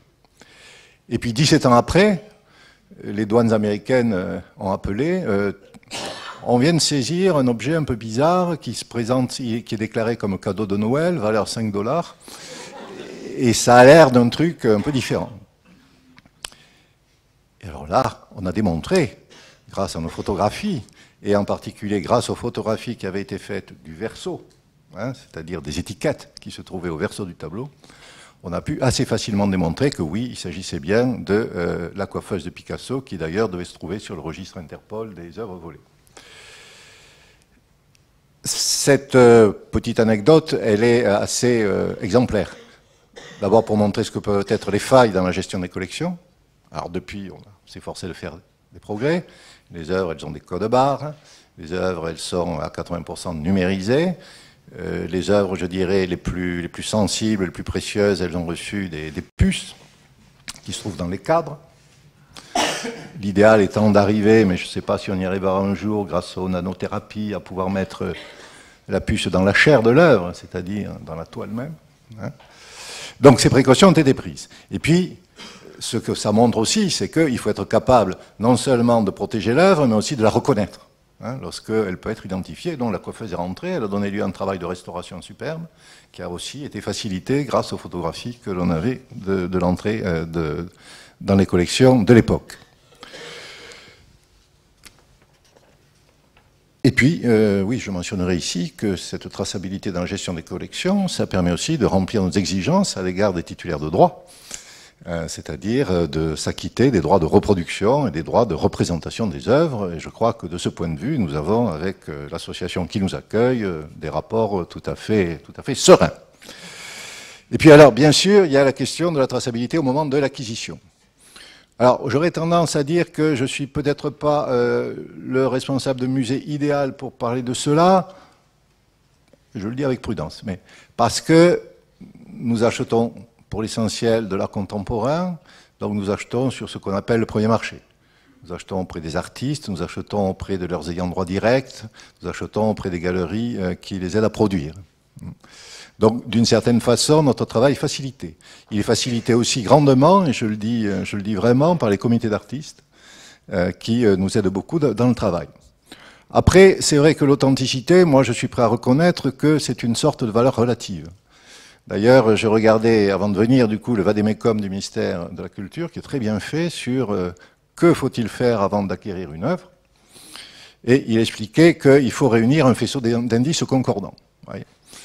Ce qui montre bien qu'il y a une certaine distance par rapport à la question transcendantale de l'authenticité. Je dois ajouter, oh, mais vous le savez mieux que moi, que l'authenticité, c'est pas un tout. C'est-à-dire que dans une œuvre, il peut y avoir des parties authentiques, et puis des parties qui ne le sont pas. Et qu'à partir du moment-là, va se poser la question de l'arbitrage. Est-ce qu'il euh, y a suffisamment d'authentique là-dedans pour que ça vaille la peine d'être acheté? Se pose aussi un problème crucial qui est celui de la datation, c'est-à-dire une fois que l'œuvre est authentifiée comme euh, faite par tel artiste, d'accord, euh, mais de quelle époque? Et là, c'est vrai que parfois certains vendeurs ont tendance à tricher un peu pour que l'œuvre rejoigne une époque où elle a plus de valeur qu'à une autre époque de la production de l'artiste. Globalement, ce que nous faisons, et j'insiste là-dessus, c'est euh, conjonction entre une approche documentaire et une approche technique. Hein. Approche technique, c'est-à-dire la toile, les pigments, etc., si ça le mérite, c'est-à-dire s'il y a s'il peut y avoir un doute légitime sur l'authenticité, et approche documentaire. L'approche documentaire, elle fait de gros progrès, non seulement parce qu'il y a des catalogues raisonnés, parce qu'il y a des comités d'artistes, mais aussi parce que nous nous sommes engagés dans des systèmes de bases de données partagées. Euh, et par exemple, pour euh, euh, Kandinsky, il existe un portail qui est alimenté par les divers conservateurs des divers musées qui détiennent des Kandinsky. Pour Marcel Duchamp, on est en train, avec le musée de Philadelphie, de faire la même chose. Et donc, on va avoir un système d'information partagé qui, je crois, euh, permettra d'avoir plus de facilité dans l'authentification des œuvres. Après, euh, au moment de l'acquisition, il ne s'agit pas simplement de se demander si l'œuvre est authentique, il faut aussi se demander si son acquisition est légitime. Alors, c'est la question classique, est-ce qu'elle a été volée ou pas? Et ça rebondit avec une autre question que l'on a découverte durant ces dernières décennies, qui est, est-ce qu'elle résulte de spoliation Là, j'ai aussi une histoire qui est parlante, je trouve, c'est l'histoire de l'homme à la guitare, de Braque. Et c'est une histoire qui, m'intéresse d'autant plus, à moi, pardon, mais peut-être à vous aussi, que euh, je l'ai vécu de l'autre côté de la barrière, moi. C'est-à-dire qu'à l'époque, j'étais secrétaire général du gouvernement, c'est-à-dire je travaillais à Matignon. Et c'était après l'époque où Lionel Jospin avait demandé qu'on se saisisse. C'était l'époque où Jacques Chirac et Lionel Jospin avaient demandé qu'on se saisisse résolument de la question des spoliations. C'était l'époque où une mission avait été euh, présidée par M. Matteoli euh, pour euh, faire le point sur la question des spoliations et de leur indemnisation. Et c'est à partir de là quand même qu'il y a eu une véritable politique volontariste du gouvernement, alors je ne dis pas dans tous ces compartiments, dans tous ces départements, mais globalement du gouvernement, pour traiter cette question des spoliations et notamment des œuvres spoliées. Alors, L'homme à la guitare, comment ça se passe? Euh, L'homme à la guitare, il était dans la collection d'Alphonse Kahn. C'est clair. La collection d'Alphonse Kahn, il y a une partie qui a été vendue, une partie qui a été donnée, une partie qui a été spoliée. Je crois que les experts n'ont jamais su exactement euh, pu identifier le sort de chaque œuvre. Et puis cette œuvre-là, l'homme à la guitare, on l'a retrouvée chez un collectionneur euh, très bien, insoupçonnable. Et puis, après le collectionneur, est allée dans une galerie très bien, insoupçonnable, avec un galeriste d'ailleurs qui avait eu quelques soucis pendant l'occupation. Merci. Et donc, vous voyez, comment dire, il y a une certaine traçabilité, même si elle n'est pas parfaite, et du coup, il y a une certaine tranquillité, je dirais, des gens du musée qui l'ont acheté. Et c'est à la suite de tout ce qui s'est passé euh, dans les années 2000 que des descendants d'Alphonse Kahn euh, sont venus pour dire mais l'homme à la guitare, hein, c'est le résultat d'une spoliation. Et d'ailleurs, Jean-Jacques Ayagon a commencé, qui était, qui était, mon prédécesseur de l'époque, a commencé par être mis en examen pour euh, recel, etc. le musée était scandalisé. ne comprenez pas, mais je acheté régulièrement, cette œuvre, c'est pas possible. Euh, moi, je suis en règle. Peut-être qu'en amont, il s'est passé des choses, mais moi, je suis en règle. Et c'est le politique finalement qui leur expliquait, oui, mais là, on a une question d'éthique euh, qui est insurmontable. Et donc, ben, il va falloir soit la rendre, soit l'acheter. Alors, rendre une œuvre, dans l'esprit des conservateurs, c'était une chose euh, inconcevable. Donc, le musée a décidé de l'acheter, de la racheter, une nouvelle fois. Et alors là, le ministère du Budget a dit, oh là là, mais attendez, dans ce cas, on va réfléchir à tout ça, disons que euh, pendant deux ans, on va diminuer votre budget de moitié, votre budget d'acquisition de moitié, parce que c'était ça, hein, la valeur de... Ça montre à la fois la valeur de l'œuvre et euh, le montant du budget. Et alors, qu'est-ce qui s'est passé? Ben, Ceux qui connaissent l'administration budgétaire euh, le savent déjà, c'est que cette diminution par deux pendant deux ans, elle a duré plus de deux ans, puisqu'elle subsiste. Hein, c'est à la suite de cette affaire que le budget d'acquisition a été, diminué par deux. Voilà. Tout ça, vous voyez, pour dire qu'il euh, y a des problèmes éthiques et euh, il y a euh, une sorte d'attachement viscéral des musées aux œuvres, je le reconnais. Mais je crois qu'il y a eu aussi quand même, on ne peut pas dire que c'est simplement les rapports de force du marché privé qui ont conduit à ce qu'on se préoccupe des spoliations. Des on ne peut pas dire non plus que les musées n'ont jamais essayé de l'inventorier. Moi, je crois que Didier Schulman et la bibliothèque Kandinsky ont traité à fond cette question, ont même organisé des colloques, des congrès, des universités d'été sur le sujet. Je crois pouvoir dire qu'on a 44 œuvres euh, qui sont MNR. Je me trompe peut-être. L'enquête le dira si vous la menez. Voilà. Euh, surgit désormais une nouvelle préoccupation, c'est la traçabilité de l'œuvre prêtée. On a fait une grande exposition Jeff Koons, euh, qui a été généralement appréciée, je crois. Et, et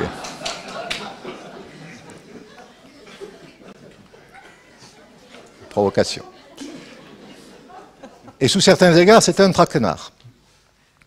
Parce que il y avait des gens qui pensait que euh, M. Kunz, dans son travail d'appropriation, euh, s'était emparé d'une œuvre d'un photographe, M. Boré, je crois, pas très connu d'ailleurs. Hein. Et ces gens avaient essayé d'engager des procédures aux États-Unis, mais le droit américain faisait qu'il n'y était pas arrivé. Et alors ils se sont tapis, ils ont attendu que les œuvres arrivent à Paris, et là ils ont attaqué. Et le musée était d'autant plus surpris que les œuvres venaient du Whitney. C'était l'exposition de Whitney qui avait été, pour une large partie, transposée au centre Pompidou. Nous avons été mis en cause. Jeff Koons, évidemment, a été mis en cause.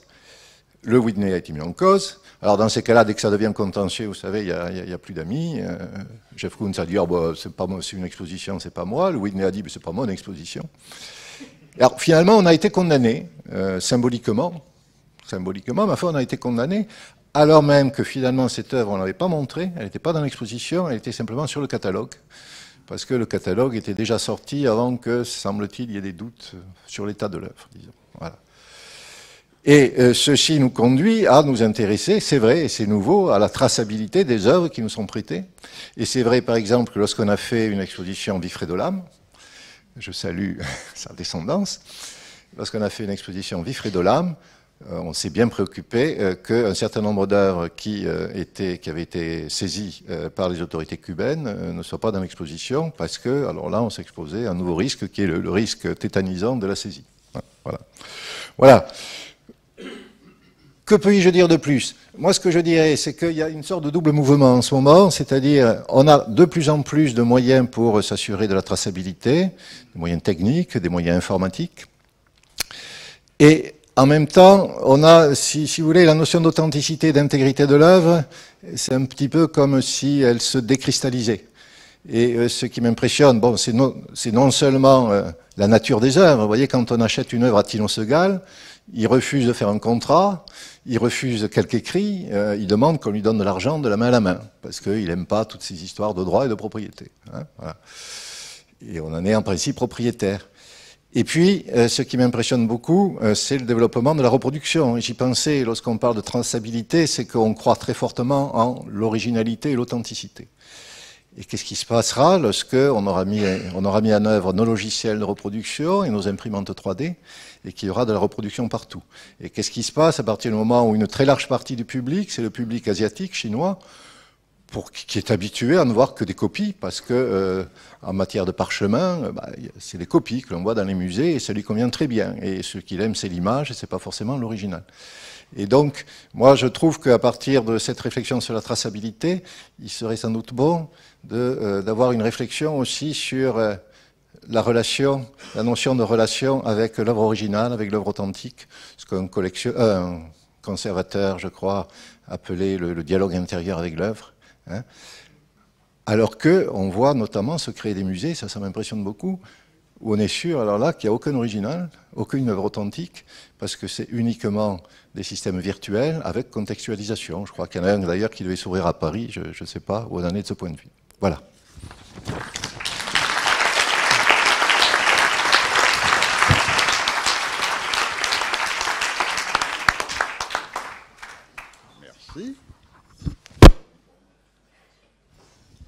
J'imagine que des questions, il y en a ou vous êtes fatigué?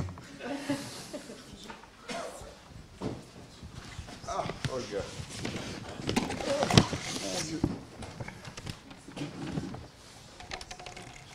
Olga? Faut tout faire dans ce... Ah. J'ai une question à notre. Euh, excuse-moi, euh, Olga. Est-ce que vous avez la gentillesse. Euh, Olga journaliste correspondante allemande. Est-ce que vous avez la gentillesse de vous présenter quand, quand vous posez les questions, s'il vous plaît? Olga, ça y est, c'est fait. Donc, le monsieur qui travaille à Interpol, j'ai une question. pourquoi vous avez dit la collaboration même entre Interpol ne marche pas très bien.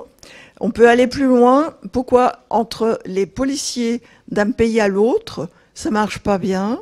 Pourquoi euh, les articles qui sont publiés, par exemple, en Allemagne, je ne parle pas forcément des miens, euh, sont pas relus en France pour continuer les recherches? Et quand on essaye de contacter, euh, ça, je ne devrais pas le dire, euh, les policiers pour proposer euh, de faire le lien entre la police allemande avec laquelle on travaille parfaitement et la police française, on est envoyé sur les roses. bon, c'est jamais agréable d'être envoyé sur les roses, c'est sûr. Euh, mais non, ce que je veux dire, la coopération internationale policière, elle est, elle est compliquée. Elle est compliquée. Interpol, c'est 190 pays.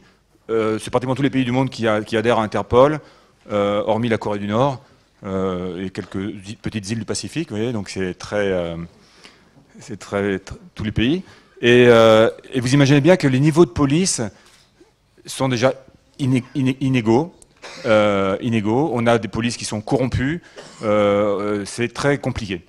Euh, dans les pays, on n'a pas les mêmes, comment dire, il y a des pays qui, je, le disais tout à l'heure dans ma présentation, c'est qu'il y a énormément de pays, c'est le cadet de leur souci que de, s'occuper du trafic des biens culturels. Mais déjà, même en, France, on a la chance d'avoir effectivement l'OCBC, on a un groupe à la, préfecture de police avec la BRB, spécialement dédié à la, à la lutte contre le, voilà, contre le trafic.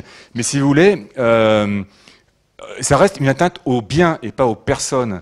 Euh, c'est considéré comme une, atteinte aux biens et pas aux, personnes. Et dès lors, ce n'est pas une priorité des polices. Euh, et, c'est vrai que c'est une préoccupation de pays de riches hein, que de, s'occuper de, protection du bien, de, biens culturels. Il y a des pays, ils ont bien d'autres problèmes, et, donc dès lors c'est compliqué la coopération policière internationale. Il n'y a pas de, je disais, il n'y a pas d'unité dédiée, il n'y a pas de remontée d'informations. Dans les pays, Interpol, la base de données d'Interpol, d'objets volés, elle est très peu alimentée par les pays. On n'a que 50 000 objets dans la base de données euh, d'Interpol au jour d'aujourd'hui. C'est très très faible. voyez? Alors après, on peut effectivement avoir des, relations bilatérales euh, avec les, entre polices, euh, et ça se passe plutôt pas mal. Bah, moi, mes collègues de l'OCBC, vous, vous, dites qu'ils envoient sur les roses les collègues allemands, je suis surpris c'est vous qui le dites, j'en sais rien, mais je vois pas parce que euh, en général, quand même, ça se passe pas mal police entre, policiers. La collaboration est, assez, est assez, facile. C'est pas un sujet, si vous voulez, entre policiers, c'est pas un sujet qui divise. J'en parlais, je ne dirais pas de la même chose du terrorisme, où la coopération policière elle est bien plus compliquée entre les pays, hein, qui restent très, comment dire, avec leurs informations, c'est très difficile de partager l'information. En matière de trafic des biens culturels, ce n'est pas le cas. Donc je suis un peu surpris de ce que vous dites par rapport à, au lien entre la police allemande et la police française. Euh, ça, m'étonne un peu. Mais vous voulez l'exemple? Euh, euh, si, vous, voulez. Non, non, c'est pas. Enfin... Quand, quand, il y avait l'affaire Beltraki en Allemagne, Beltraki a été euh, pris par la police début euh, août 2010.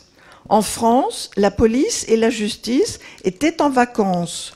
Monsieur Beltraki a jeté toutes ces, documentations dans la mer à 7 et quand, si, si, vous ne le croyez pas, il s'est fait filmer par un monsieur qui s'appelle Birkenstock, qui n'est rien d'autre euh, rien de, euh, euh, que le fils de son avocat, l'avocat de M. Birkenstock est cinéaste et qui a filmé Peltraki, qui a rejoué comment il a effacé les traces.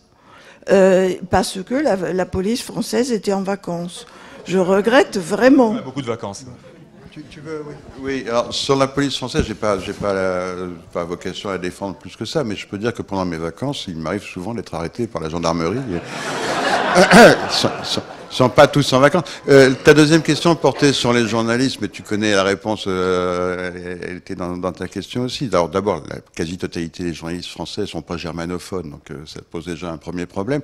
Euh, d'autres, mais surtout, euh, on a tendance à aller chercher nos infos de nous-mêmes, donc et, et, et, pas nécessairement à les partager. Les, les confrères allemands qui ont travaillé et fort bien, d'ailleurs, ils ont fait un très joli bouquin édition Actes Sud, euh, sur l'affaire Beltraki, euh, pas vocation à partager leurs infos avec nous. D'ailleurs, personne, aucun ne me l'a proposé. Alors à toi peut-être Non?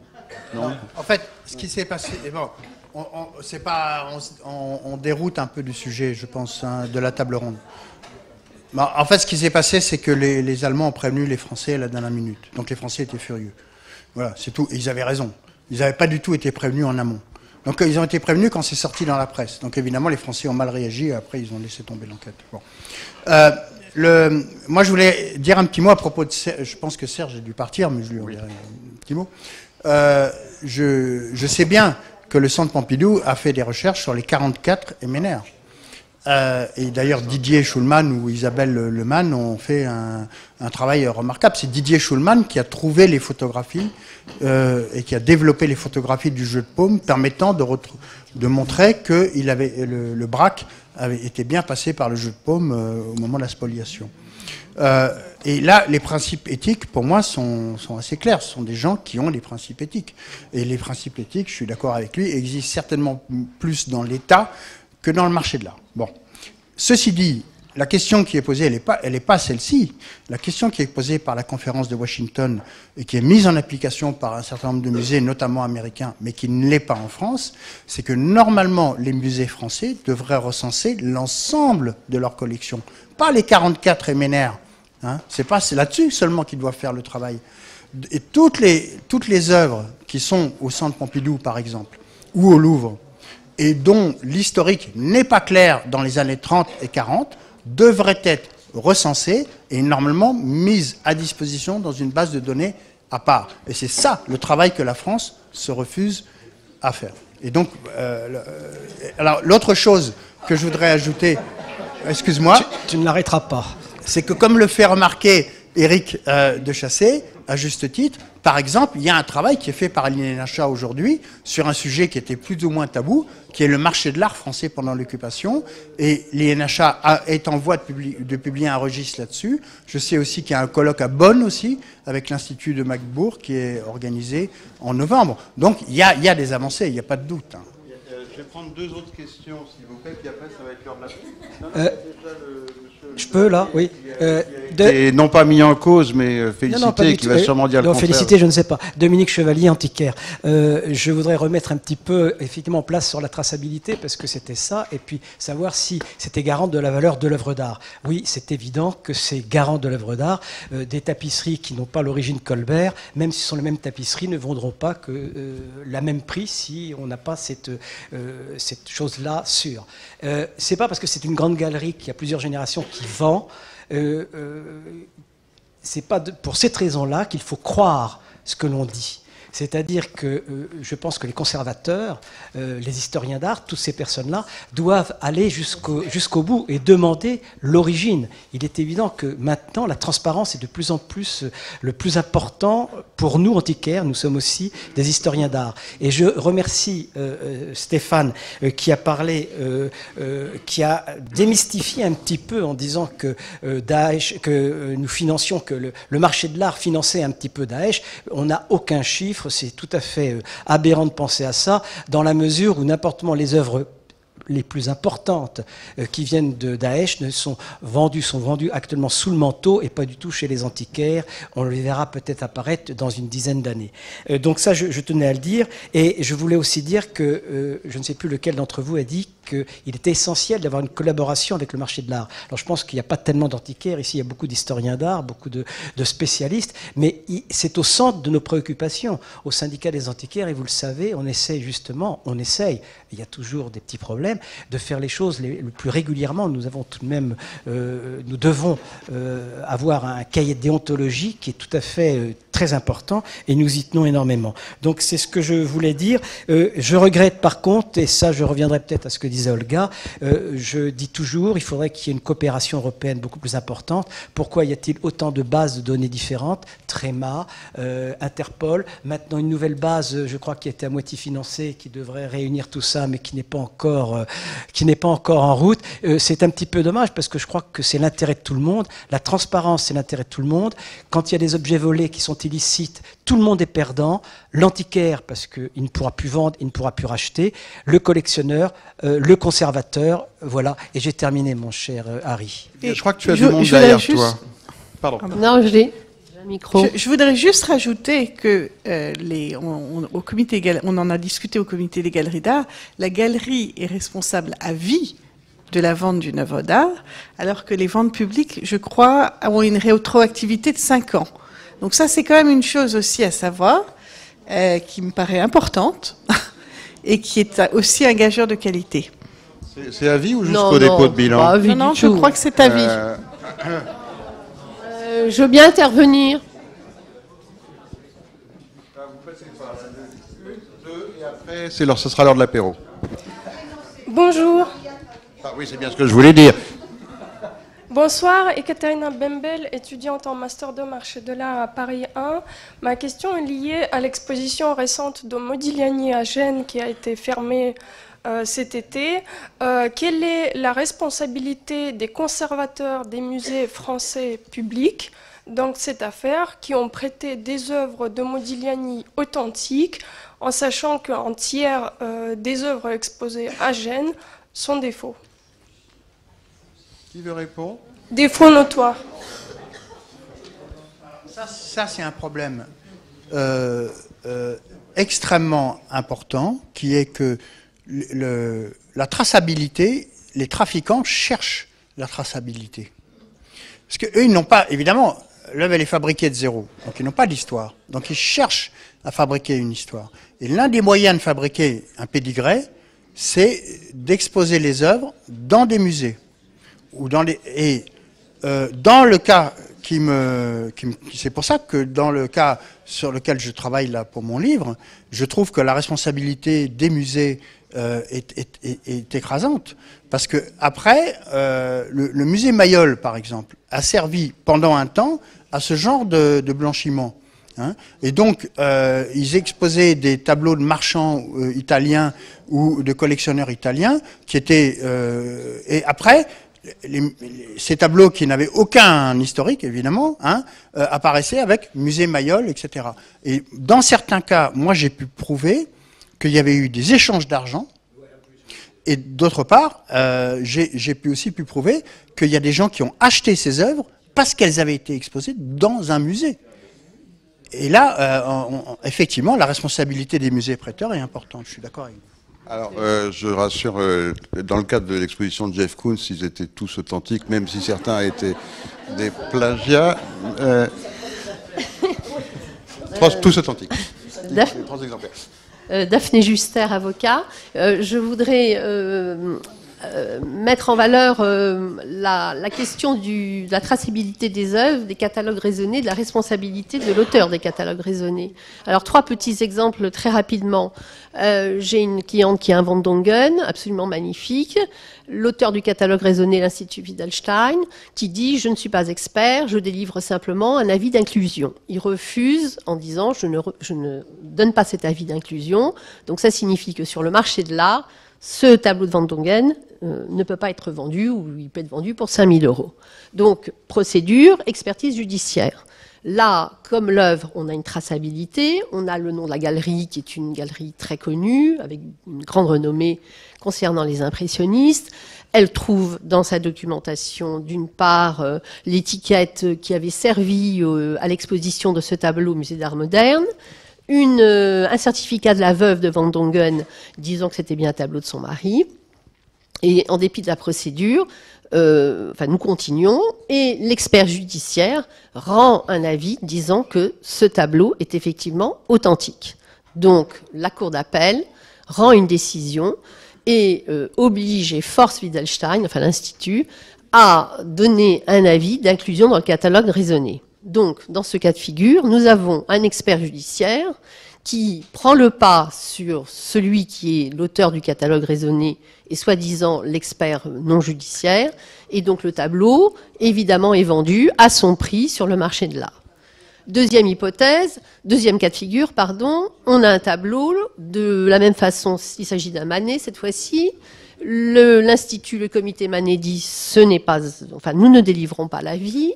Le tableau change de main, il part chez un autre acquéreur et on découvre que ce tableau, j'ai presque fini, que ce tableau est revendu avec un avis du comité Manet sur le marché de l'art 10 millions d'euros.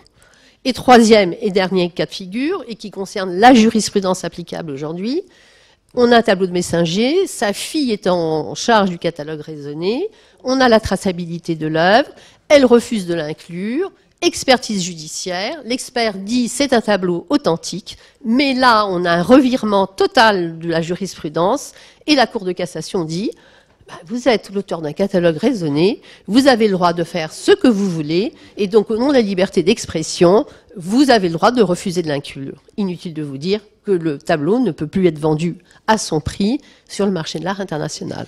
Merci, maître. Alors, effectivement, c'est un problème qui mériterait presque un colloque à lui tout seul.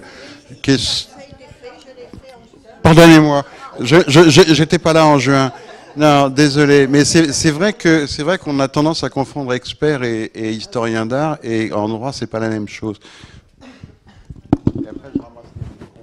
Olivier Perdu, euh, chaire de civilisation pharaonique du Collège de France. J'ai juste une question pour Stéphane Teffaut, très courte. Elle concerne la tête de l'époque d'Amenhotep III qui a été maquillée.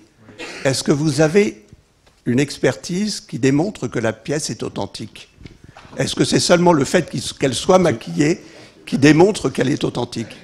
C'est juste. vous, avez raison. voyez la question parce que ça. Non, c'est une vraie. Euh, vous avez raison de la poser. cette affaire, je n'ai pas, j'ai pas, pas traité, mais euh, votre euh, question est pertinente. Alors. Et, voilà. Et j'ai pas de réponse parce que. Une fois de plus, je peux rien dire d'autre. Une fois de plus, on voit un exemple de coopération entre le Collège de France et la police.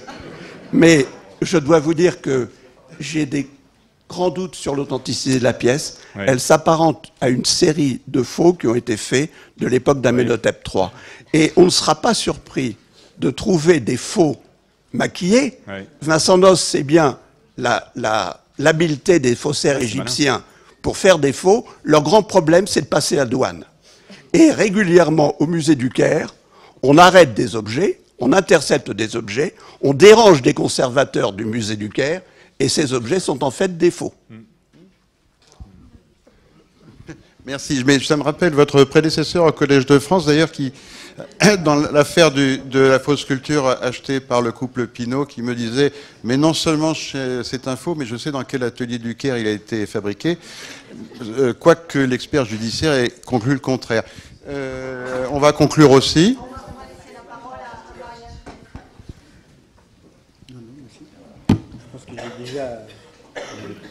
Ben, écoutez, chers amis, je voudrais d'abord commencer par vous dire que nous sommes très heureux du succès de ce colloque et par vous avouer que nous en avons été les premiers surpris.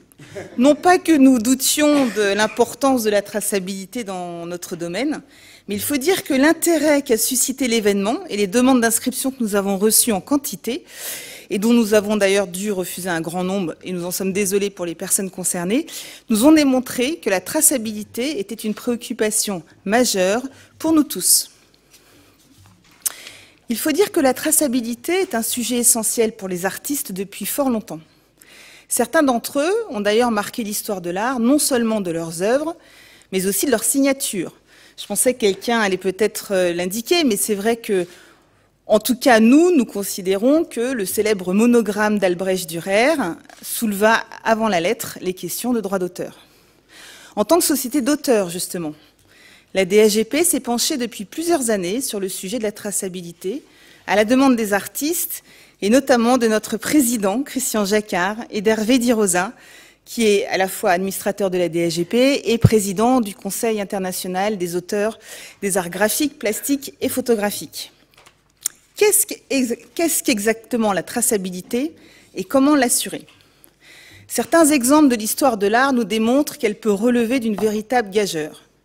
Je pense notamment au cas, certes brillant, mais néanmoins complexe, de l'artiste japonais Okusai, un fou de dessin, comme il se qualifiait lui-même, et qui, en 70 ans de carrière et quelques 30 000 dessins, utilisa près de 50 signatures différentes.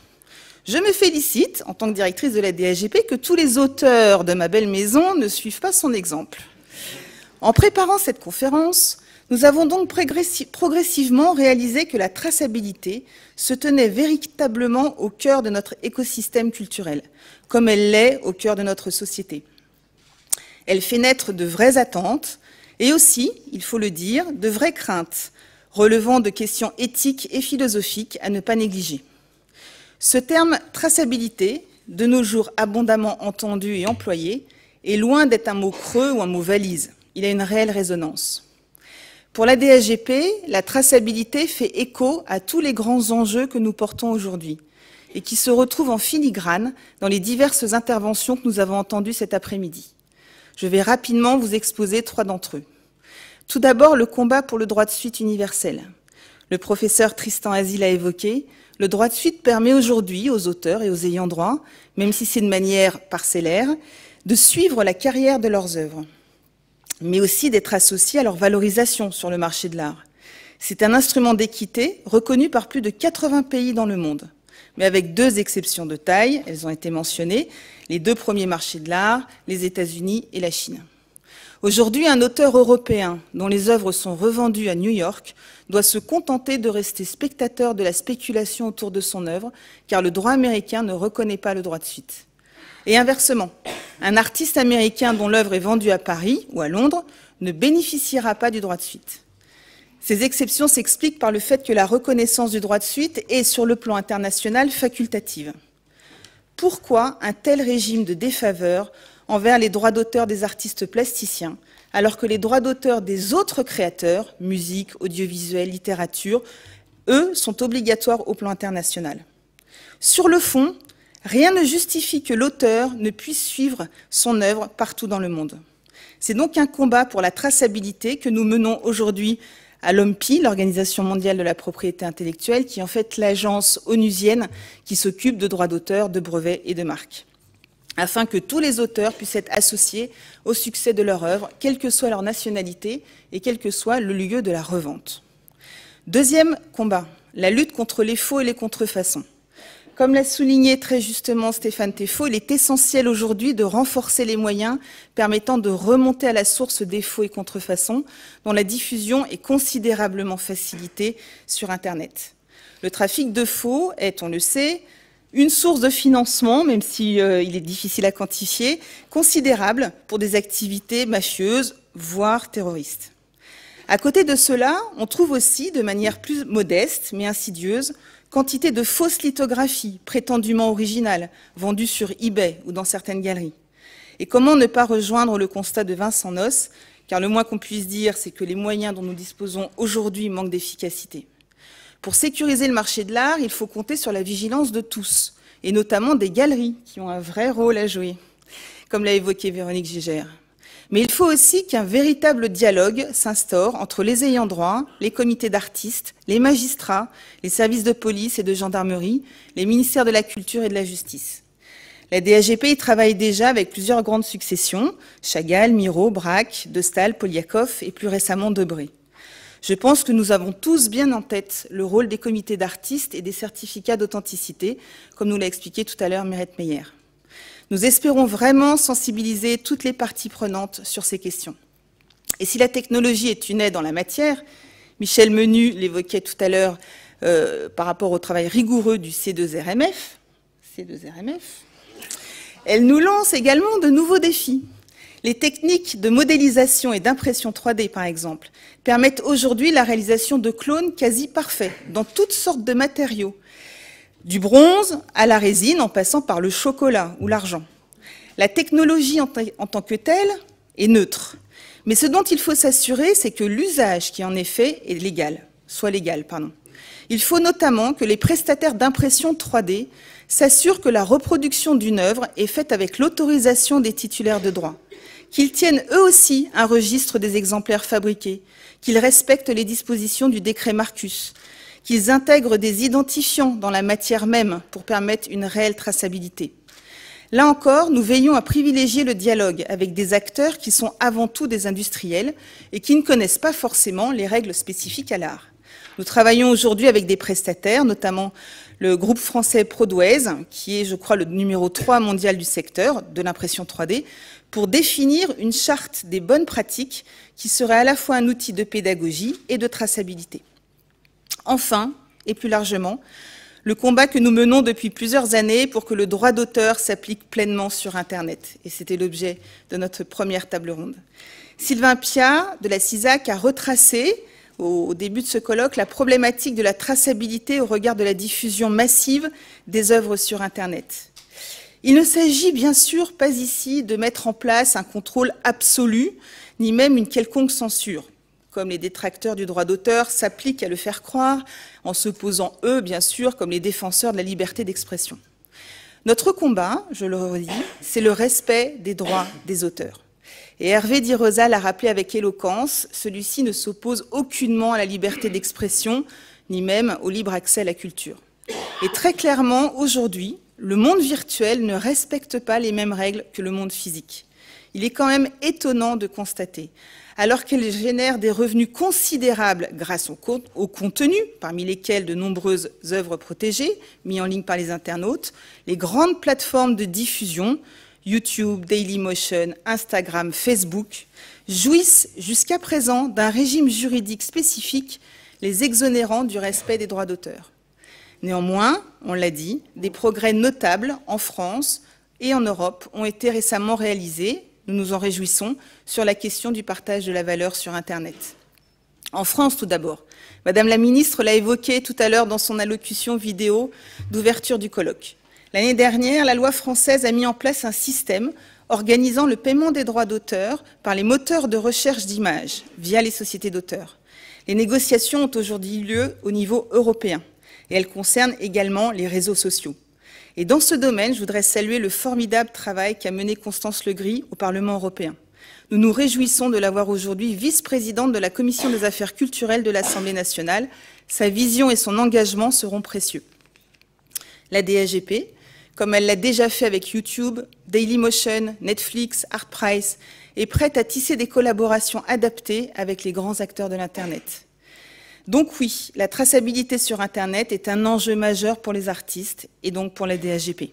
Et elle concerne non pas, comme certains aiment à le penser, les particuliers qui partagent des images d'œuvres d'art à des fins non commerciales sur les réseaux sociaux, mais bien les grandes entreprises du secteur, qui tirent depuis longtemps de substantiels revenus du travail des artistes sans leur reverser un centime.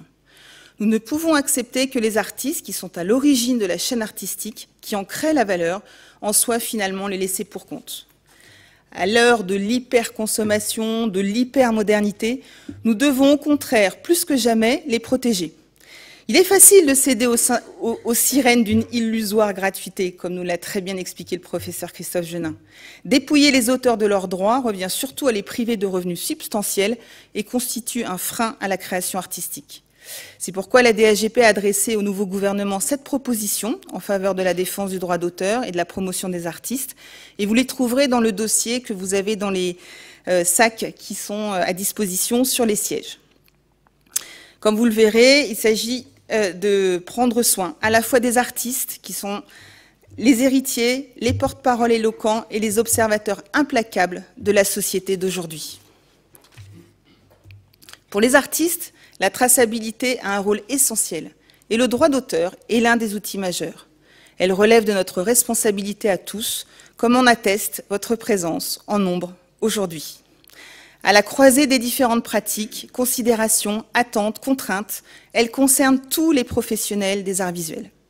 Je conclurai en vous remerciant chaleureusement de votre présence et de votre écoute attentive, en remerciant bien sûr les professeurs Alexandra Bensamoun et Françoise Labarthe qui ont assuré la direction scientifique brillante de ce colloque, les modérateurs et chacun des intervenants pour leurs riches et pertinentes interventions qui viennent nourrir notre réflexion.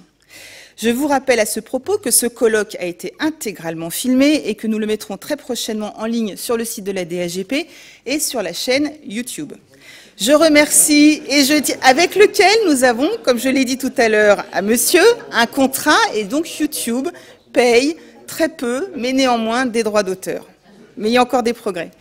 Je remercie et je tire mon chapeau à Marie Paillet pour l'organisation magistrale de ce colloque. Et je vous propose maintenant de poursuivre nos échanges autour d'un cocktail qui vous entend à la sortie de l'auditorium. Merci à tous.